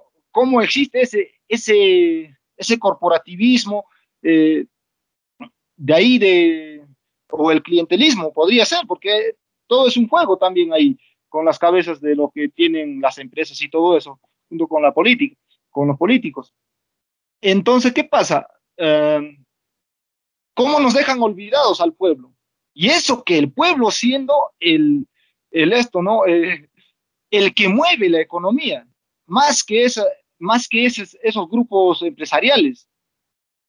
Recordemos que, que el Perú, el 70% de, de toda nuestra, nuestra población activa económicamente es informal. ¿Y a ellos qué? Y entonces ahí no, no, no concebimos que hay ¿no? un, un esto, una marginación, un, eh, una segregación, un, un olvido a, al, otro, al otro bando. Y entonces esas cosas, ¿no? Por ejemplo, eso, eso, es lo que yo estoy poniendo. No sé si estoy yendo bien. Sí, sí, está haciendo bueno, bien, está haciendo bien, pero centra un poquito más en tus estructuras. A tu pregunta, si la ciudadanía no está ya, ya, en el ejemplo mismo, que se, seguimos el ejemplo, ¿no? No está este, teniendo una articulación de vida con el, con el, con el Estado, con el, el, poder, en este caso el legislativo, al que estás haciendo referencia, y el ejecutivo también.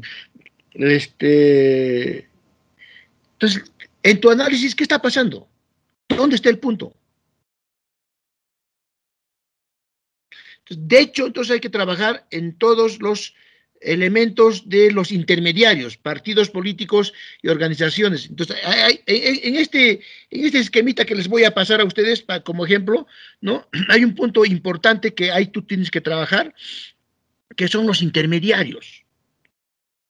¿Qué ha pasado con los, con los gremios, con las asociaciones sociales representativas de la sociedad? ¿Qué ha pasado con los intermediarios, los partidos políticos? Por eso que uno de los puntos ahí pongo en lo político, eh, democratizar los partidos políticos dándole más presencia al militante. Se han convertido en cúpulas. Y eso a su vez, en la trazabilidad que has debido hacer y en el análisis est est estratégico, has visto que tiene que ver con las economías, ¿no es cierto?, con las economías negras, con la economía de mercado negro, que comenzó a proliferar eh, después de los años 50. ¿A qué me refiero? que como entran en Guerra Fría, dos economías totalmente eh, nefastas en el mundo, la economía ultramercantilista llamada neoliberal, porque ese nombre, eh, no sé cómo utilizan esa palabra tan linda que se llama liberalismo, el liberalismo significa democracia, justicia social, pero lo han, lo pervertido esa palabra. Entonces tenemos de un lado una, una, economía ultra, ultra mercantilista, ¿no? que, que, llaman liberal capitalista, y del otro lado una economía eh, enferma, dos economías enfermas, la economía estatista. Entonces, entre estas dos economías enfermas, el mundo entra en una, en una, en una, en una etapa de, de, mafia económica, de mercado negro, de economía negra. ¿Ya? Y ahí es donde se desarrolla pues las mafias en, Europa, los, los, los, las corrupciones estatistas en los países llamados de, de la cortina de hierro, la, las grandes corrupciones, ¿no? Y, y sobreacumulaciones groseras de capital en los países este, llamados capitalistas, ¿no es cierto? ¿No es cierto? Que, genera la crisis del, del 72, del, de, ¿no? Y a su vez esas crisis te dan bolsones para que se desarrolle el narcotráfico, la especulación, el acaparamiento, los grandes, los grandes consorcios, ¿no? Y eso, a su vez, infiltra los partidos políticos. Mira, mira, mira cómo, cómo lo ideológico, lo político, lo social, ¿no? Se va metiendo, ¿no? Entonces, por eso es que ustedes, cuando hagan lo social, lo económico, político, no hagan así estancos, solo políticos, solo se puede mezclar, ¿no? Ahí les pongan de referencia, ¿no? le pongo este esquema, no, no, no como camisa de fuerza, sino como referencia, ¿no? Entonces, esto, esto, esto puede filtrar. Entonces, fíjate cómo los partidos políticos desde los años 50 entran en todo el mundo, ¿ah? ¿Ya? en una crisis terrible. Entonces, muchos partidos de revolucionarios se convierten en cortesanos y de cortesanos pasan a mafiosos. O sea, esto que estamos viviendo ahorita, lo que tú estás diciendo en términos eh, eh el, tipo de Congreso que tenemos, la falta de gobernabilidad, tiene mucho que ver con eso. ¿Y para qué hacemos todo este análisis histórico? Porque ahí está el punto donde tú tienes que atacar la causa más profunda y las medidas que vas a tomar para esa causa más profunda. ¿Cuál es la causa más profunda? Que los partidos se han vuelto en empresas, en, empresas, en corporaciones de delitos, eh, organizaciones y corporaciones para delinquir, con excepción de sus militantes, o sea, no los partidos, sino las cúpulas porque hay que respetar al, al, al, al 90% del pueblo izquierdista, al, 90% del pueblo, 99% del pueblo del centro y el 99% del pueblo de derecha, que hay un pueblo también de derecha, ¿no? que, que, que es respetable, ¿no es cierto? Entonces, te das cuenta cuán necesario es tu análisis integral de todo, ya partiendo de la pregunta de Shelley y de todo lo que he dado esta mañana, para que veas esa trazabilidad ¿Cuánto te ayuda eso para ver los, las conexiones causa-efecto? Esto que siempre he dicho. Entonces les propongo, señores alumnos, ya no hagan el trabajo anterior, así solo. Este, eh, causa más profunda y, y, a los que les falta todavía, y no, no, no, no puede ser esto, ¿no? A no ser que realmente tengan problemas, ¿no? Y a los que les falta todavía un problema estratégico. Hagan la solución, pero van a, en torno a esa solución, van a reformen vuestros eh, problema estratégico y causa más profunda. De tal manera que los, las 5.000 palabras para la próxima semana, ¿cierto? Las 5.000 palabras, tiene que ir unas buenas soluciones, pero ya reformuladas y repensadas estas causas. vamos a ir al revés. Vamos a hacer el trabajo al revés ahora. Ya, es como un método. Estas, estas propuestas que van a presentar, que, ya tienen alguna iluminación, porque ya tienen, ya tienen algo iluminado, los que han hecho el trabajo y los que están retrasando, porque han hecho algo, sí, eso sí voy a reconocer, ¿no? ya tienen iluminado, ya tienen iluminado. ¿no? O sea, no, no lo han hecho del todo, no lo, han, no lo han acabado, pero sí han presentado muy buenos bosquejos de iluminación.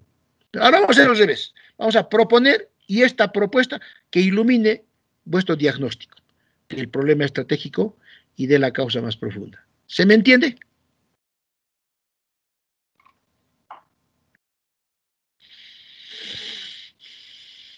Sí, profesor, sí se le entiende y seguramente estaremos mejorando, ¿no? Pero ya con la luz, a la luz de las propuestas. ¿Se entiende, Carlita? Eh, sí, profesor. Eh, justamente mm, para hallar la causa, usted nos indicó un método, causa y efecto. De la misma forma, uno puede llegar a las causas más profundas o a la causa que, ocasiona todo esto con el método de Ishikawa, que también te indica cómo llegar a ese punto. O sea, no solo es buscar lo que tal vez usted nos da, sino que un poquito más analizarlo y ir buscando cómo llegar a eso. Y pues Sí, es interesante esos métodos porque te ayuda mucho, te ayuda a analizar todos los temas. ¿Qué me dices, Analicet? Profesor, disculpe. Angela, ¿qué me dices? Angela. Profesor, disculpe, tengo una pregunta. Con gusto. Eh, la emancipación eh, humana verdadera, ¿cree que sea una solución a la exclusión y discriminación? ¿Usted qué dice? Y de ahí yo le doy mi, punto de vista. ¿Por qué me hace la pregunta? ¿Tiene dudas sobre eso? Ah, ¿En qué basa sus dudas?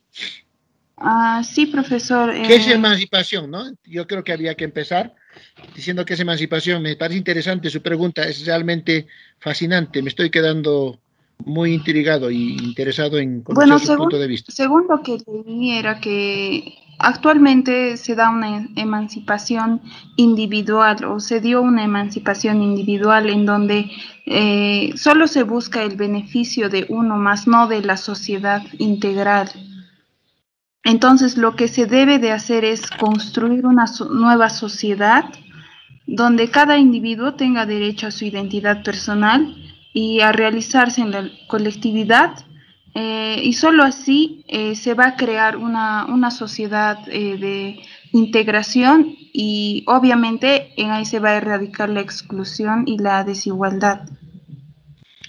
Me, están saliendo esta mañana los genios, caray. Yo ya un poco más les cedo la clase.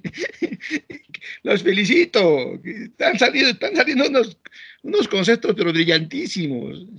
¿Qué más le puedo decir, señorita Ángela? Usted lo ha dicho todo. Es, tal cual lo que ha dicho. Entonces sí sería una solución, por, Por supuesto, por supuesto. Entonces, usted ha dicho una cosa, pero gracias, le, agradezco. Y, y, me tienen que dar bibliografía que están leyendo, ah, por favor, no sean egoístas. Muy buena bibliografía, yo también estoy, les comparto. Es eso, eso, eso, eso que digo. Equilibrio entre lo colectivo y lo individual. Ahí está. Equilibrio. Porque si tienes mucho. Pero es una posición. Es una, es una posición un poco marxista. ¿Cómo? Es una posición un poco marxista de. Ah, claro. Pero equilibrio, pues. marxista es cuando es todo colectivo, ¿no? Fíjate los, las, las, los, los, los, ensayos colectivos que hemos tenido, un desastre. Y cuando todo es privado, también es un desastre. ¿No es cierto? O sea, ¿qué mundo estamos viviendo, señorita Angela? Y, y, usted lo ha dicho. Justo un mundo en el cual los dos, los dos modelos han muerto. Los dos modelos unilaterales. ¿Sí o no, señorita Angela? Sí, profesor. Claro, el modelo soviético, cubano, venezolano, chino, chino, el China se reformó después de Mao, en los 60, pero, pero se ha ido al otro lado, ¿no? Se ha ido al otro lado, ¿no? O sea, de, de este se ha ido al otro lado, ¿no? Y de otro lado tenemos pues, el modelo norteamericano, ¿no? Imperialista, militarista, ¿no es cierto? Tenemos el modelo inglés, ¿no? Que ah, igualito le secunda con Francia y Estados Unidos, los tres van a hacer, hacer cacería de, de invasiones a países. Mira, ¿y cómo están ahora, no? ¿Cómo están ahora? Toda su economía se ha ido. ¿Quién sería para usted ese caso? A ver, ya que estamos viendo, qué bueno, señorita, que toque el tema. También te ha tocado usted tema filosófico, ¿no? Ya no sé, el, 20 no le va a ser suficiente para usted. ¿Cuál cree usted que entonces sería el, el modelo que podemos tener como algo real? ¿En quién está pensando usted, señorita? ¿A quién está mirando? Equilibrio individual social. Alemania. ¿Ha mirado usted, señorita, Alemania? No, profesor, todavía no. Les recomiendo, señorita. Mira Alemania, señorita. Claro, es que todavía en su cabecita, en la cabecita todo está nazis, fascistas, ¿no? ¿Sí o no? Ah, Alemania del Este, Alemania del Oeste, ¿sí? Sí, pero con el tiempo también ha cambiado esa sociedad. Esos no han permanecido. Nosotros nos, hemos quedado en, la reforma borbónica. Nos hemos quedado en 1740. Los alemanes, desde la caída del muro de Berlín del 89, ahora, socialmente. Eso es emancipación. Equilibrio entre sociedad e individuo. Con un Estado-nación fuerte, representativo, todo lo que he puesto acá, todo lo que he puesto aquí en, esa, en esas líneas, lo que han puesto ahí, el, joven que ha hecho el trabajo más lo que yo he contribuido, ¿en quién quieren que estoy pensando, señorita Ángela? ¿Usted cree que yo pondría como científico algo que es ideal o, o cree que me he basado en alguien? Mm, tal vez usted tiene una referencia de, eh, de una referencia que englobe o que solucione un problema. Sí, Alemania. Ni siquiera Finlandia, ni siquiera Suecia, ni siquiera Taiwán, porque Taiwán todavía tiene símbolos de autoritarismo, de, aplastamiento. Eso, eso, eso, que usted dice, eso que usted dice, ¿no? El colectivismo. A veces hay colectivismos que aplastan lo, individual. Denis. Profesor, eh, bueno, yo estaba viendo un documental acerca de Alemania y ahí mostraba, ¿no? Que en efecto, Alemania tiene una, un buen modelo económico, eh, contrapesadito, ¿no? Que, ¿no? que no se va ¿no? a lo que es, eh, ¿cómo lo puedo decir? Eh, que no tiene un modelo que podría ser ah, muy nacionalista ni tampoco muy liberalista. Tiene leyes reguladoras, ¿no? Pero, bueno, espero estar equivocado, ¿no? Pero en lo social todavía tiene serios problemas, hay rezagos. Eh, en eso, bueno, no sé, en lo social yo sí o sí voy a tomar ejemplo a Finlandia, pero en lo económico, eso sí, en lo económico sí Alemania, porque tiene buenas leyes reguladoras, profesor. Yo, yo pregunto, no, no es que esté defendiendo a Alemania.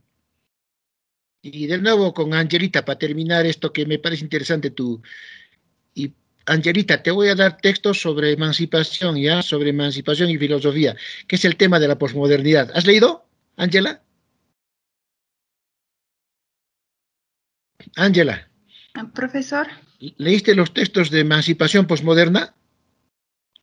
Eh, no, no me centré en ese. te, voy a dar para que tu concepto sea más, eh, ¿ya? Es lindo. Entonces, Mm, a ver, yo me pregunto, mm, no sé, solo me pregunto, pero no quiero. Gracias, con mucho gusto. Ya, este, me pregunto, no, no, no afirmo, ni, ni, ni digo. Mm, ¿Quién tiene mejores condiciones para desarrollar justicia social? Una nación que siempre ha estado cómoda y casi sin problemas sociales, porque eso le puede llevar cualquier rato ¿ah? a, discriminar. ¿ah? O alguien que ha pasado la peor discriminación en su vida, ha sufrido y recién se está levantando. Para ustedes, yo les pregunto, ¿quién más podría mejor diseñar un modelo social de justicia, equilibrio y armonía? Alguien que toda la vida ha vivido entre lores, entre castas, entre aristócratas, pero que ahora, por, por un decir nomás, se ponen iguales, o alguien que ha sufrido discriminación, que, ha, que su pueblo ha sido llevado a, matar millones por, raza y que ahora ha sufrido y se ha arrepentido y está remodelándose. ¿Quién mejoraría ese trabajo? según ustedes? Cualquiera de ustedes me responda.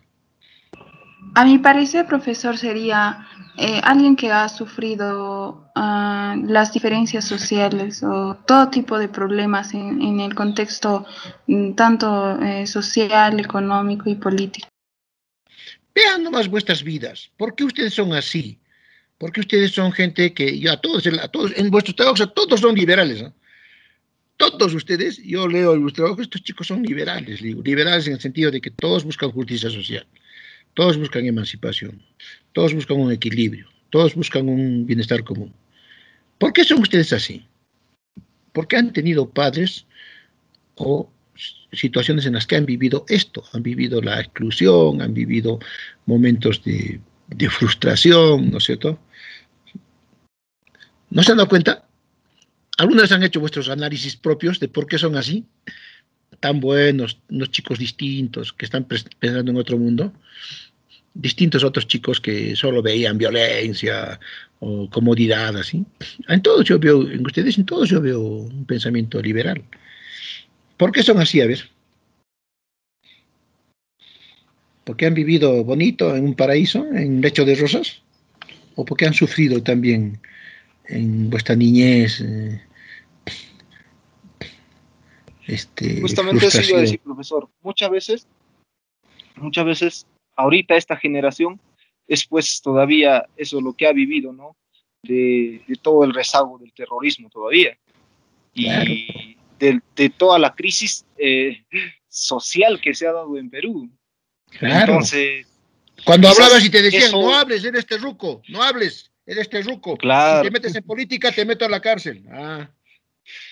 Y entonces, pienso quizás eso, ¿no? Como ahorita hace, un, uh, hace esa pregunta y hago una remembranza, ¿no? Del pasado y digo, ¿no? Claro, porque hemos vivido también eso, ¿no? Y justamente, uh, igualito anoche estaba viendo ahí, ¿no?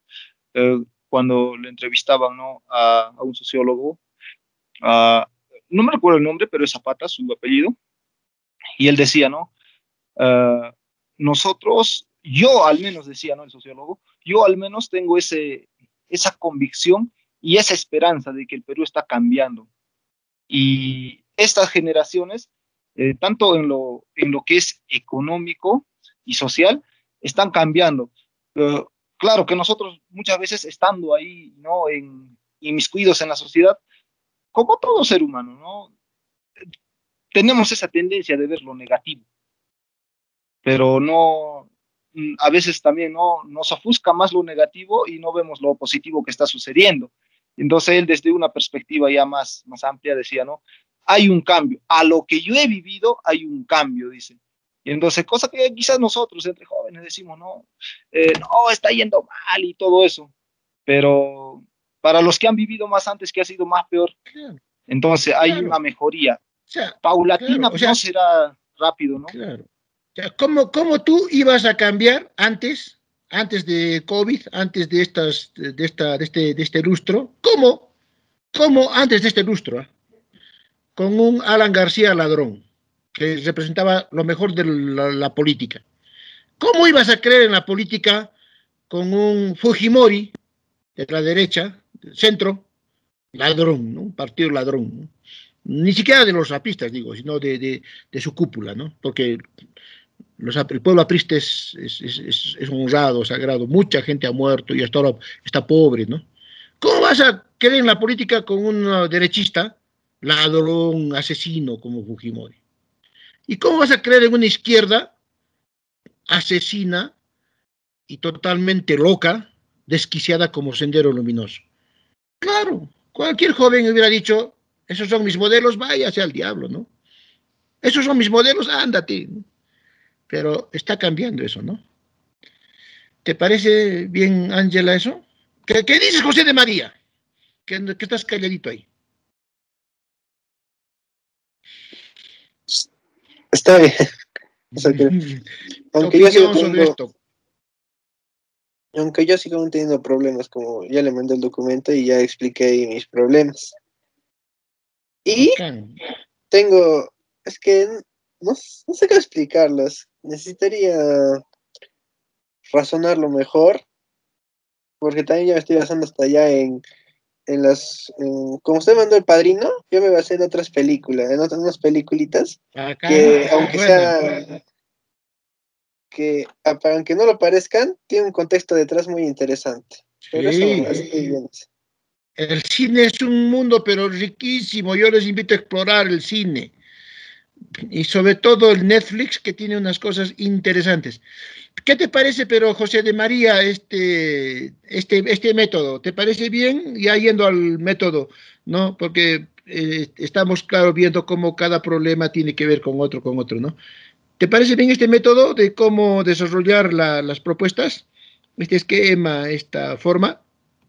Sí, pero me complica un poco porque un problema conlleva otro, el otro, eso, otro, otro. Es como buscarle otro pie al gato. No sé. Ya, les doy un, consejo. Pónganselo ahí el esquema y sobre eso redacten. No necesariamente en ese orden, sino va a salir un orden vuestro, pero consideren eso como, como base. O sea, no lo eludan, pero no en ese orden. ¿Está bien? Porque esta es una propuesta que te ayuda a ver lo integral, pero no te dice, así hazlo. ¿Está bien, José María, te parece? Ok, No, no lo tomes como camisa de fuerza, sino una sugerencia. Una más de las. ¿Te parece, Carlita? Eh, sí, profesor, me parece muy bien. Eh, sí. Sí, como sugerencia. ¿Sí? No como así camisa de fuerza, esto, si no haces esto, no, no, no, no, no. Pero sí tienen que tocar todos esos aspectos. Eso sí no es negociable. Tienen que tocar todos esos aspectos. ¿Cómo lo tocas aquí combinándolo? Eso ya ves tú. Cada uno. Si utilizas esquemas, ya, les dejo totalmente libre, ¿no? Ahí tienen el libro, ahí tienen el, el, ejemplo y tienen todo vuestro bagaje, una, una, una, una ¿Qué dices, Yudisa? Quiero escuchar a Yudisa a escuchar a todos ahora. A ver, tenemos todavía un poquito de tiempo. Yudisa, ¿qué me dices? ¿Estás, Yudisa? ¿Qué me dices, Shelly, de nuevo? ¿Ya te, te ah. sirve esto? Sí, demasiado, profesor. Pienso hacerlo ahora con esquemas para poder centrarme bien. Te felicito, Shelly. Gracias por esa, por esa, y gracias porque nos hace sentir bien que estamos este, avanzando. Perfecto. Lenae, ¿qué me dices?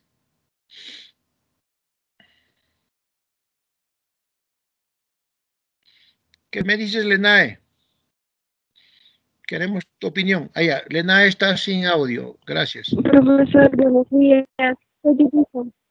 Ya, ah, ya. Yudisa. Profesor, sí, buenos días. Soy Yudisa. Yudisa, discúlpame, ya ahora sí, te, te pongo, ya casi te pongo, casi te pongo, se escapó, casi ya te estaba poniendo. Perdón, disculpa, es una broma. Ya, Yudisita, ¿qué te parece esto? Este esquema, ¿te ayuda? ¿Lo vas a hacer, Yudisita, por favor? Sí, sí, profesor, sí me ayuda está mejor, profesor. Ahora sí entiendo cómo vamos a hacer. Profesor, ¿me escucha? Creo que Sí, sí, sí, te, te, escuchamos perfectamente. Buena ayudicita. Y entonces, ya hacerlo, ¿ya? Punche, ya estamos en la parte final del curso y te va a ayudar mucho. Vas a ver que vas a te va a ayudar bastante esto, te, te, va a disciplinar la mente, te va, te va a poner el pensamiento orgánico, bien bonito, te va, te va a ayudar a, Es una cosa maravillosa, háganlo por, por ustedes mismos. Lenae, gracias Yudisa. Lenae. ¿Qué me dices, Lenae? Ah, Lenae tiene problemas con el audio. Ya, este, Ilia, ¿qué me dices, Ilia? Buen día, maestro. Eh, sí. ¿Qué tal? ¿Qué te pareció esto? ¿Qué tal? ¿Cómo lo has visto? Mm, muchas gracias por la explicación. Sí, ya lo entendí mejor. Ya. Sobre el, esquema. Voy a utilizarlo. Algunos de tus comentarios, ¿qué puedes ah, este, aportarnos? ¿Cómo te sirve? Si nos puedes explicar un poquito para que también nos, nos ejemplifiquen, ¿no? Nos ejemplifiques a los demás, ¿no? Tu audio está un poquito mal. Ese es el problema. Lenae, Lenae, Lenae. sí, Lenae nos está hablando por esto. Entendí mejor, profesor. Gracias, Lenae. Muy bien. Este, después, este, Lenae. Eh, dice, me dice, profesor, mi audio no funciona, me parece bien, profesor, Lenae, está bien. Hasta se le entiende mejor. Ya, gracias. ¿Quién más? ¿Quién más? Ilia, está tu, tu audio un poquito mal, malito. Ariel, ¿qué me dices? Ariel. Ariel, buenos días. ¿Qué me dices? Tu comentario sobre esto. Y de repente puedes ejemplificar cómo funciona en tu tema. Y nos darías un adelanto de cómo lo vas a desarrollar, ¿no? Para que también nos ayudes a nosotros, nos aportes, ¿no? Porque no solo pues yo y los que conversamos tenemos, ¿no? Todos tienen que aportar. ¿Se han dado cuenta que cada vez que habla uno de vuestros compañeros aporta algo? Y esta mañana ha sido riquísimo, ¿no? Con, los aportes y, así se trata de aprender, ¿no? Y ustedes empleen este método cuando sean profesores, ¿no? Sean, sean plutonio. ¿Saben qué es el plutonio? es el que dispara y ¡bum! hace reventar la bomba atómica. Entonces, ustedes sean disparadores, sean provocadores de ideas, ¿ya? Ayer, Ariel también tiene problemas con el audio. Bien, ¿qué más? Mi audio se rompió. Uy, ya, lo rompió mi gato. su gato, ya está. Yo tengo un gatito que es como, como santito. Bueno, este. este. Carlita, ¿quisieras concluir algo más para ya eh, irnos, este, ya ver cada uno que haga su trabajo, continúe? ¿Quisieras decir algo más, concluir algo más? ¿Qué te pareció esta clase? ¿Cómo crees que está el curso? ¿Qué tal? Profesor, disculpe. ¿Me escuchan? Sí. Ah, está, Ilia. Ilia, Ilia, sí, has, vuelto. Profesor, no le entendí bien esa parte que sobre el esquema. Dijo que va a compartir otro nuevo esquema o vamos a continuar con el. No, ya no. Ya no, ya no hagan el anterior, ya no hagan el trabajo anterior. Ahora hagan la propuesta y en base a la propuesta van a rehacer vuestro problema estratégico y causa profunda. Ya no hagas tu, tu, tu, tu, causa profunda por causa profunda, ni tu, ni tu eh, este, problema estratégico por tu problema estratégico. Ahora estamos ya en la fase de propuestas. Y, y como tu trabajo consta de eh, 3.000 palabras de propuestas, más o menos, y 2.000 de, de, de problema estratégico y causa profunda, céntrate en estos 3.000. Céntrate en esto. ¿ya? Céntrense todos, ya, dejen esto. Pero esto, como tienen que entregar y como tiene que ser parte del trabajo, obviamente tiene que terminarlo, pero con esto. O sea, céntrense en esto. Ahorita no hay tiempo para más, hay tiempo para esto. Y esto va a ir modificándose, ya lo dejamos así como está. Y si pueden hacer un esfuerzo, obviamente, obviamente que no van a poder hacer esto, propuesta sin esto. Ahí está, la trampa. Ahí está la trampa. Ustedes mismos han, los que no han hecho, los que se han demorado, muy bien, son pocos felizmente, ya eh, no van a tener. Entonces, armen esto, ya, y esto va a decidir esto. ¿De acuerdo? ¿Se entiende, Ilia? Muchas gracias. ¿Sí? ¿Se entiende? ¿Se entiende, César?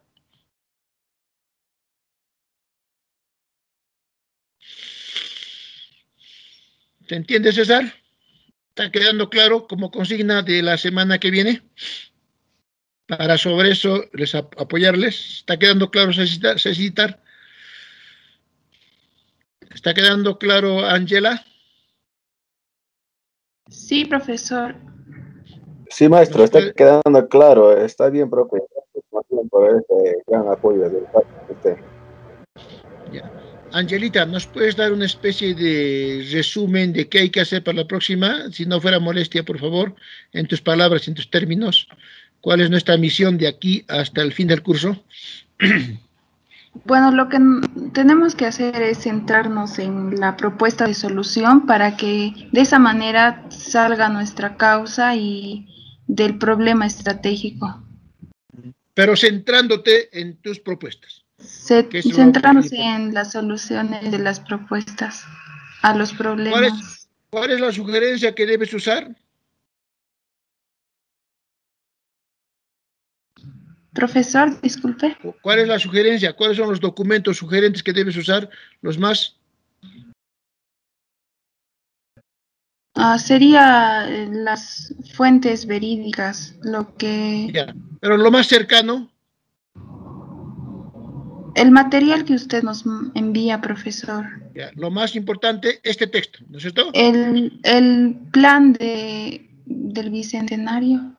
Ya, este texto, plan bicentenario, que es fundamental, es un texto hecho por los mejores técnicos del Perú, de todas las tendencias, porque cada uno de ustedes va a ser yo estaba ya leyendo ese plan. Y, y, el modelito... sigue, sigue, sigue, sigue, sigue. Sigue, mm, y bueno, en ahí sí se te plantea algunas soluciones. Eh, es muy bueno el texto, profesor. Un textazo, ¿no? Un librazo, ¿no? Ya está. ¿Y cuál es el modelo técnico que tienes que seguir? Este ejemplito que les voy a mandar en este momento, ¿ya? ¿Sí? ¿Está bien? Sí, profesor. Profesor. profesor. sugerencia. Dígame. Disculpe, Dígame. profesor.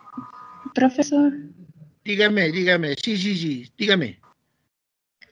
Eh, lo que plantea en, en el CEPLAN es solo hasta el 2021, pero algunas cosas que yo estaba leyendo y estaba comparando con la realidad, eh, como que no han mejorado mucho. Claro. En algunos Esto es para, es para el 2030, 2040, 2050. Este, este plan se plantea más o menos por el 2011 creo y está abarcándose por un periodo de como de 10 años y, y, hay cosas que siguen igualitas, ¿sí o no? sí, profesor, eso es lo que yo estaba comparando.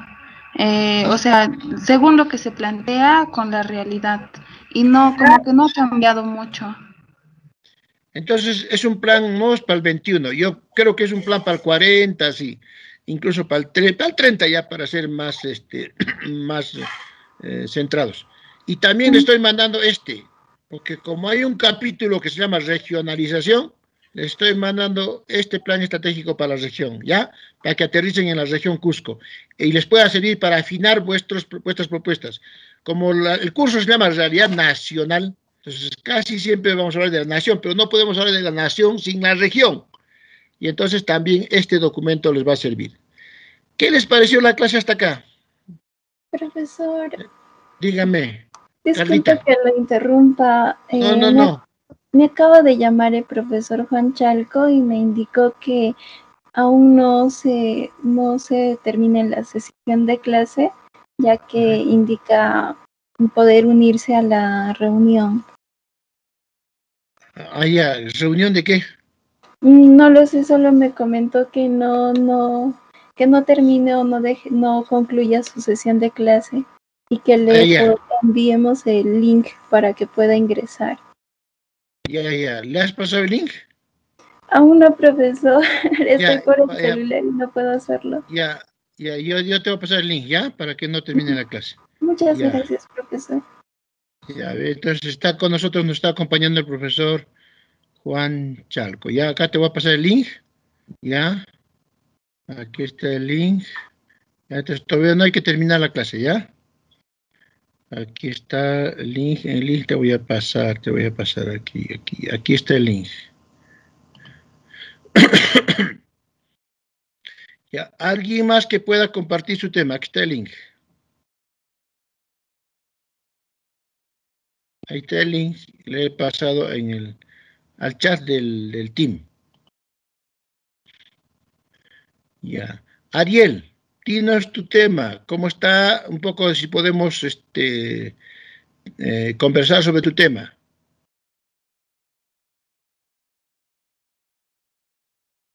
Ariel. ¿Estás Ariel?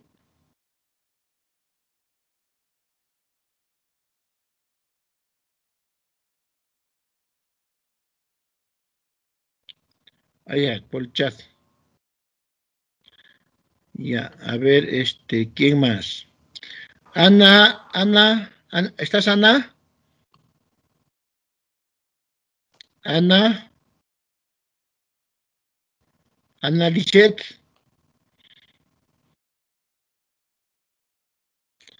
También estás sin chat. Ya. Este, coméntanos cómo va tu trabajo, a ver, para que de acuerdo a eso le aportemos. A ver el caso de tu trabajo. A ver, Anita.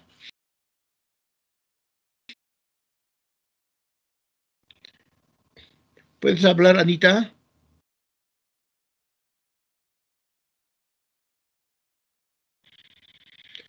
Ana, ¿puedes hablar?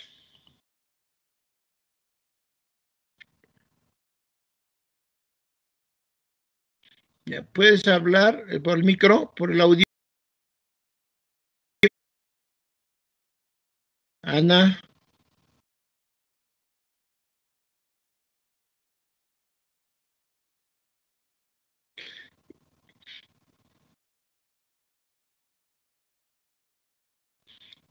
Judisa. ¿Estás, Judisa? Judisa, ¿puedes hablar?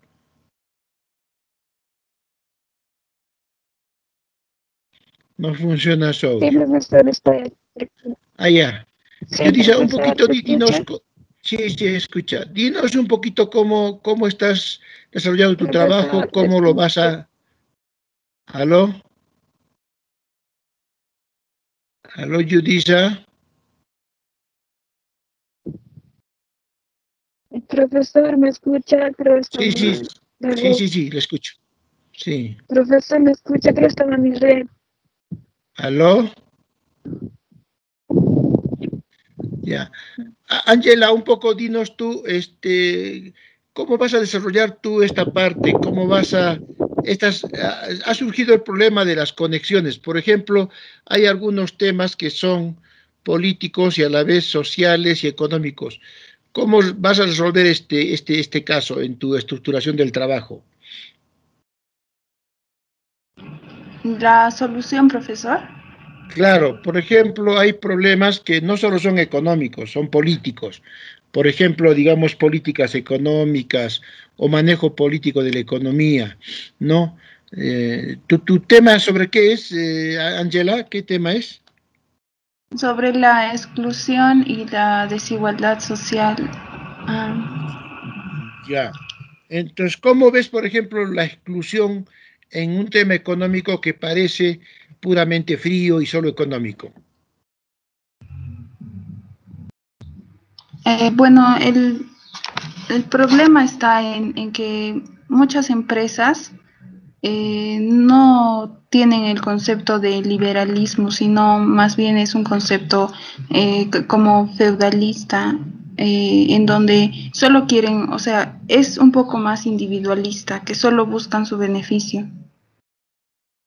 Ya, entonces, eh, eh, ¿qué tiene que ver eso? Porque yo te puedo decir, por ejemplo, económicamente es mejor tener un monopolio que tener eh, una economía dispersa. Entonces, ¿qué hace que esa persona, dónde encuentras ahí tú la, discriminación?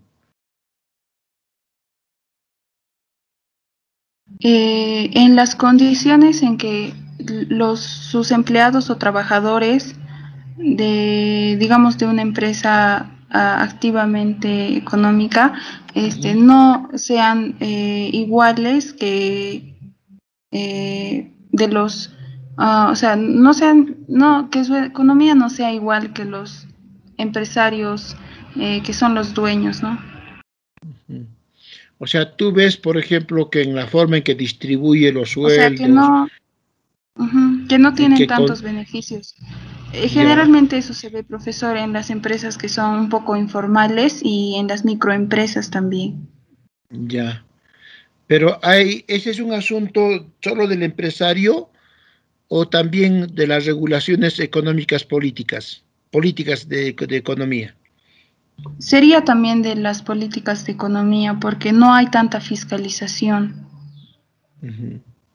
Ya, ¿Tú conoces casos donde, por ejemplo, hay empresarios que tengan un espíritu más liberal, de libre mercado, de, relaciones mucho más este, eh, equilibradas entre, entre, entre trabajador, empresa?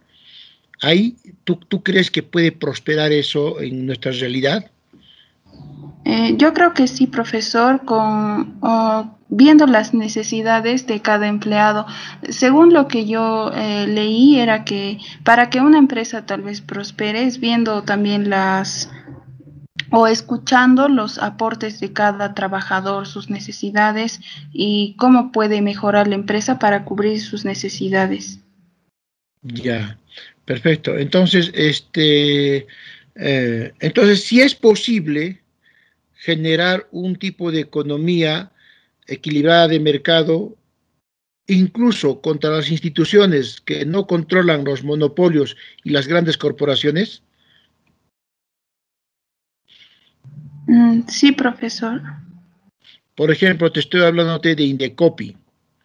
Te estoy hablando de, este, por ejemplo, te estoy hablando de eh, algunas eh, eh, ya, entonces el profesor Juan Charco, ¿no? Le invito. ¿Cómo le invito? ¿Cómo le invito? ¿Cómo, cómo se invita? Sí, profesor, me invito a que te invite. Invita, ¿no? Juan, Juan, Charco, ¿no? Sí, profesor. Juan Chalco. Juan Chalco, Chura, ¿no? Ahí está, Juan Chalco Chura, ¿no? Y ya está, entonces invitarle, ¿no? Ya, ya le invité. Entonces, sigamos el, debate. Este, es posible, es posible eh, participar, eh, lograr una economía eh, participativa si no tienes instituciones como Indecopi, como Superintendencia Nacional de Comercio, de Medicinas, que no hacen mucho para contrarrestar monopolios? ¿Es posible? Mm, sería, bueno, no sería posible porque tendría que haber una permanente fiscalización, profesor. Y en otro aspecto también estaba viendo que algunas personas, especialmente de las comunidades campesinas, este, son, están más pendientes o son dependientes a los programas sociales y para mejorar ese problema se debería de crear uh, emprendimiento o, ese pensamiento o esa uh, manifestación de emprendimiento para ya no depender de los programas sociales, que también es un atraso para el país. Porque las personas generalmente se vuelven, mm, como así decir, este, vagas y ya no quieren trabajar porque dependen de esos programas sociales. Y si yo es, he constatado eso, este profesor, eh, me consta eso.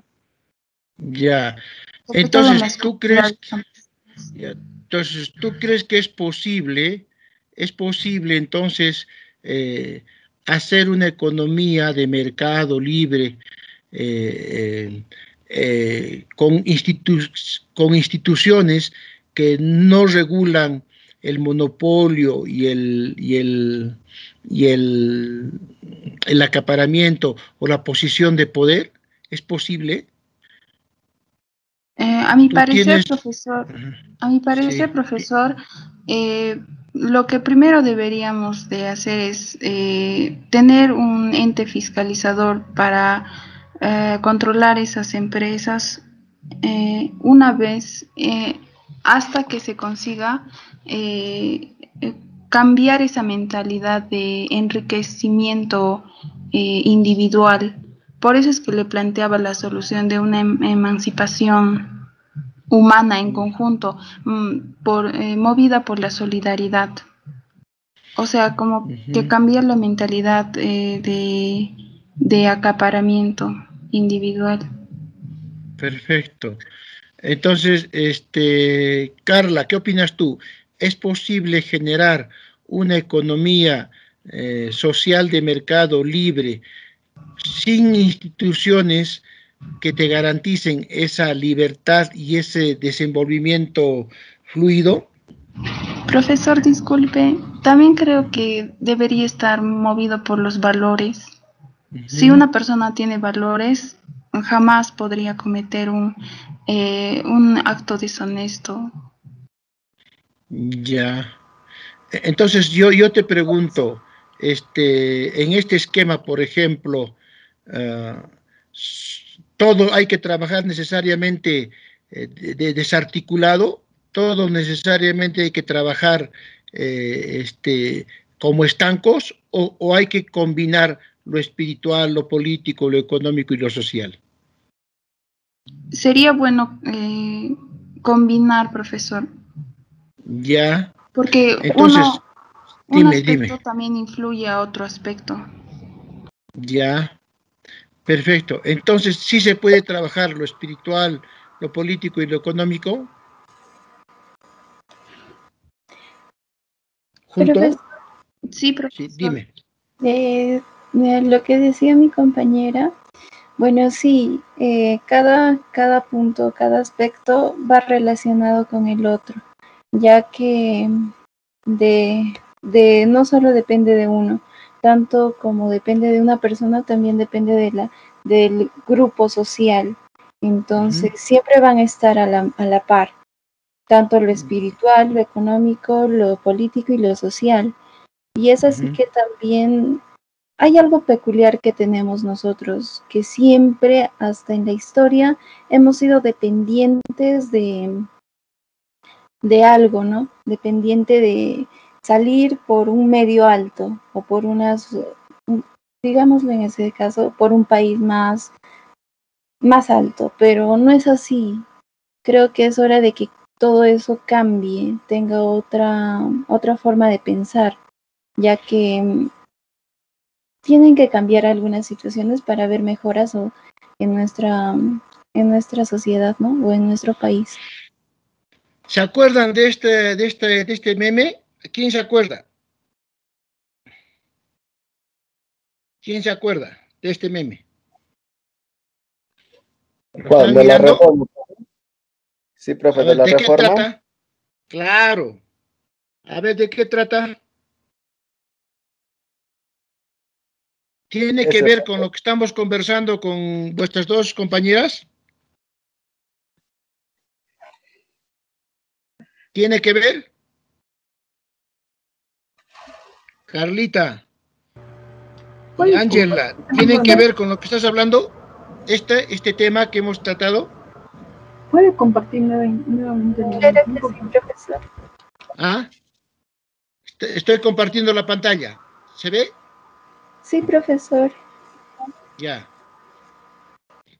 ¿Qué tiene que ver? ¿Te acuerdas que les propuse un libro que se llamaba de Max Weber, La ética protestante y el espíritu del capitalismo? ¿Se acuerdan? ¿Se acuerdan que hablamos de la reforma? Carlita, ¿me puedes resumir qué es la reforma? Cuando hablamos de la de la, de la ilustración y justo de eso hablaba Ángela de la emancipación. ¿Me puedes resumir un poquito, Carlita?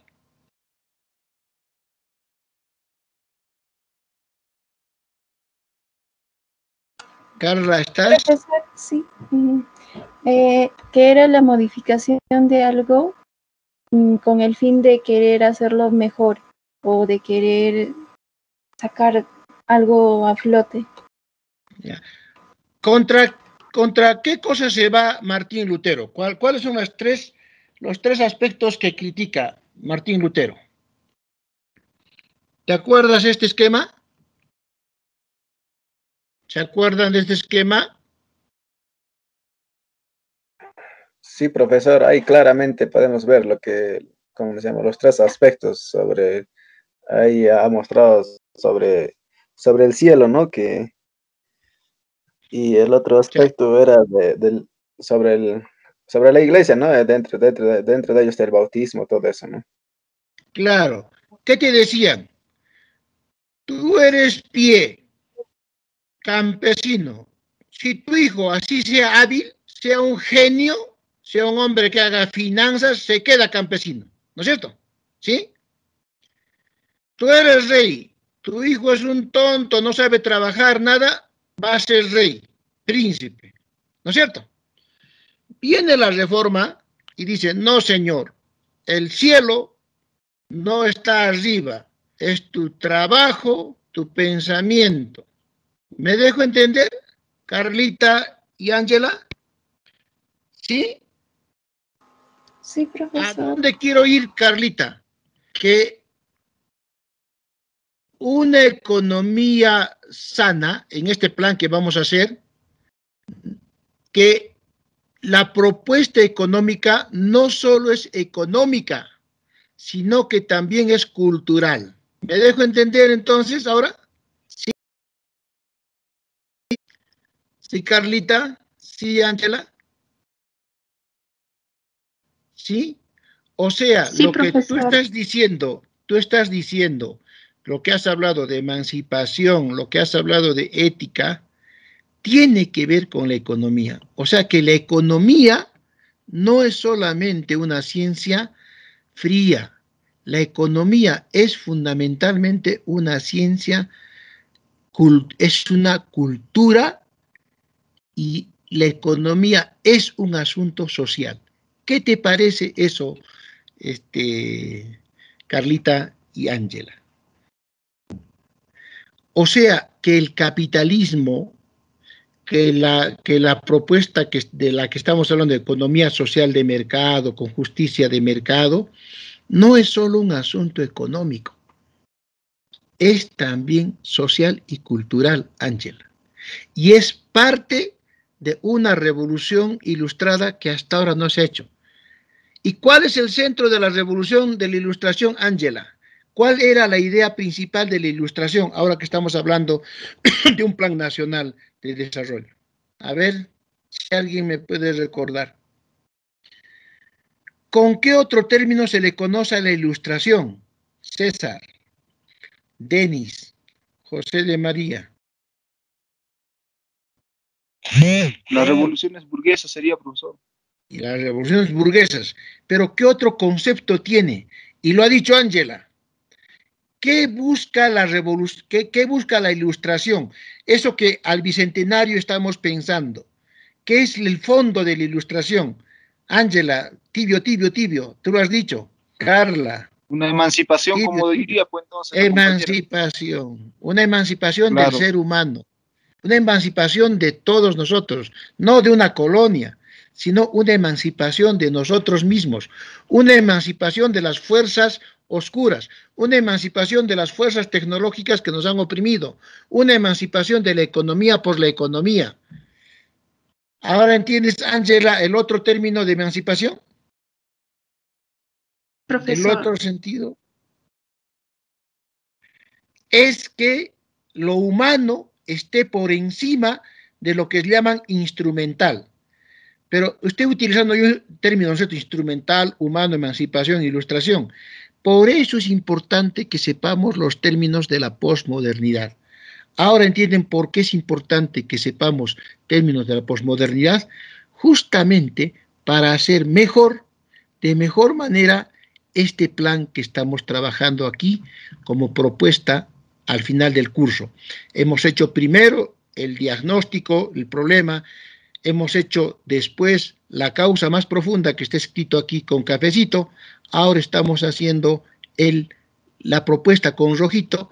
Entonces, yo les propongo este esquema para diferenciar los aspectos, pero nos acaba de demostrar, nos acaban ustedes de demostrar que estos aspectos van en conjunto, van juntos, ¿no es cierto?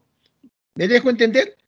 Por eso es importante que haya un hilo conductor en vuestra propuesta. No está separado la economía de lo social, de lo político. Todo es un conjunto. ¿De acuerdo entonces? ¿Sí? ¿Quedamos en esto? ¿Les parece? Sí, profesor. Está bien, profe, me parece muy bien interesante. en esto. Sí, Carlita, ¿te parece? Sí. que no hay que trabajar por estancos, sino conjuncionando lo, lo, lo, lo, mental, lo político, lo social, ¿te parece? Sí, profesor, eh, está muy bien la forma como debemos trabajarla. Holísticamente, ¿no? Sistémicamente, ¿no? O sea, no hay que esto es económico, esto es político, no, sino que hay cosas que sí son muy concretas y otras que sí se eh, entrelazan, ¿no? Entonces, hasta que hemos llegado en el trabajo, ¿no es cierto? Hemos hecho un esquema, un recorrido de todo el curso, de este el problema este, estratégico, ¿no es cierto? Entre todos los problemas hemos visto históricamente todo el análisis económico, social, político, hemos llegado a la causa más profunda y estamos llegando a esta parte del trabajo que significa la solución de la propuesta a partir de todo ello, ¿no es cierto? Entonces, hemos visto que no es solamente aquí económico, sino que todo tiene que ir integrado, obviamente organizadito, pero integrado entre, entre todo. ¿Sí? ¿Qué les ha parecido la clase de ahora? ¿Bien? Ya para despedirnos, ya, ya nos hemos pasado unos 20 minutos, unos 10 minutos. ¿Qué les pareció? ¿Sí? ¿Bien? Sí, ¿Se puede hacer el trabajo? Sí, nos aclaró muchas dudas y pues muy interesante. Ya, entonces, ahora sí, entonces, con mi ayuda, por favor, con, no sé, a cualquier hora me llaman, me, me, me consultan o me van enviando el trabajo, ¿ya? Y yo les voy viendo y vamos guiándolos, ¿sí? ¿Les parece bien, jóvenes? Ya este, muchos tienen que retirarse, ¿no es cierto? Este, el, ¿Qué les ha parecido la clase? ¿Creen que ya vamos a poder hacer el trabajo? ¿Ya están encaminados? ¿Sí? O, alguna duda, por favor, ya para despedirnos, alguna, alguna, alguna idea que se me haya quedado, algo que explicar más, por favor.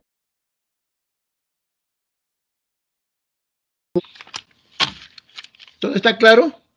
Pues cualquier duda que surja, por favor, en el transcurso del día o de estos días, con gusto me, me comunican y entonces estoy para absolverlos, ¿ya? Este, ya hemos quedado, ya céntrense en la propuesta, ¿no es cierto?, en base a todo, céntrense en esos textos que estoy enviando, voy a enviar de nuevo, a, están en la plataforma, pero de nuevo les voy a enviar a quienes no puedan, tengan alguna dificultad, y este, ya pues para, para ayudarlos, ¿sí?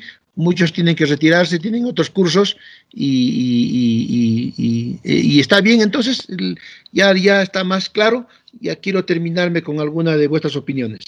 ¿Ya está más claro?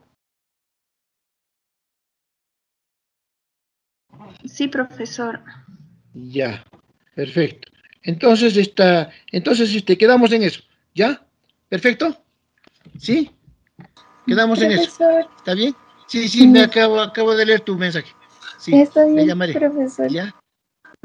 Muchísimas gracias. Entonces, quedamos en eso, ¿les parece? ¿Ya? ¿Quedamos en eso?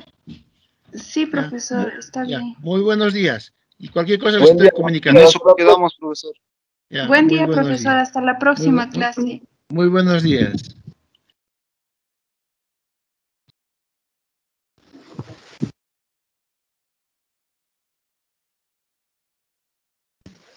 Hasta la próxima clase, profesor.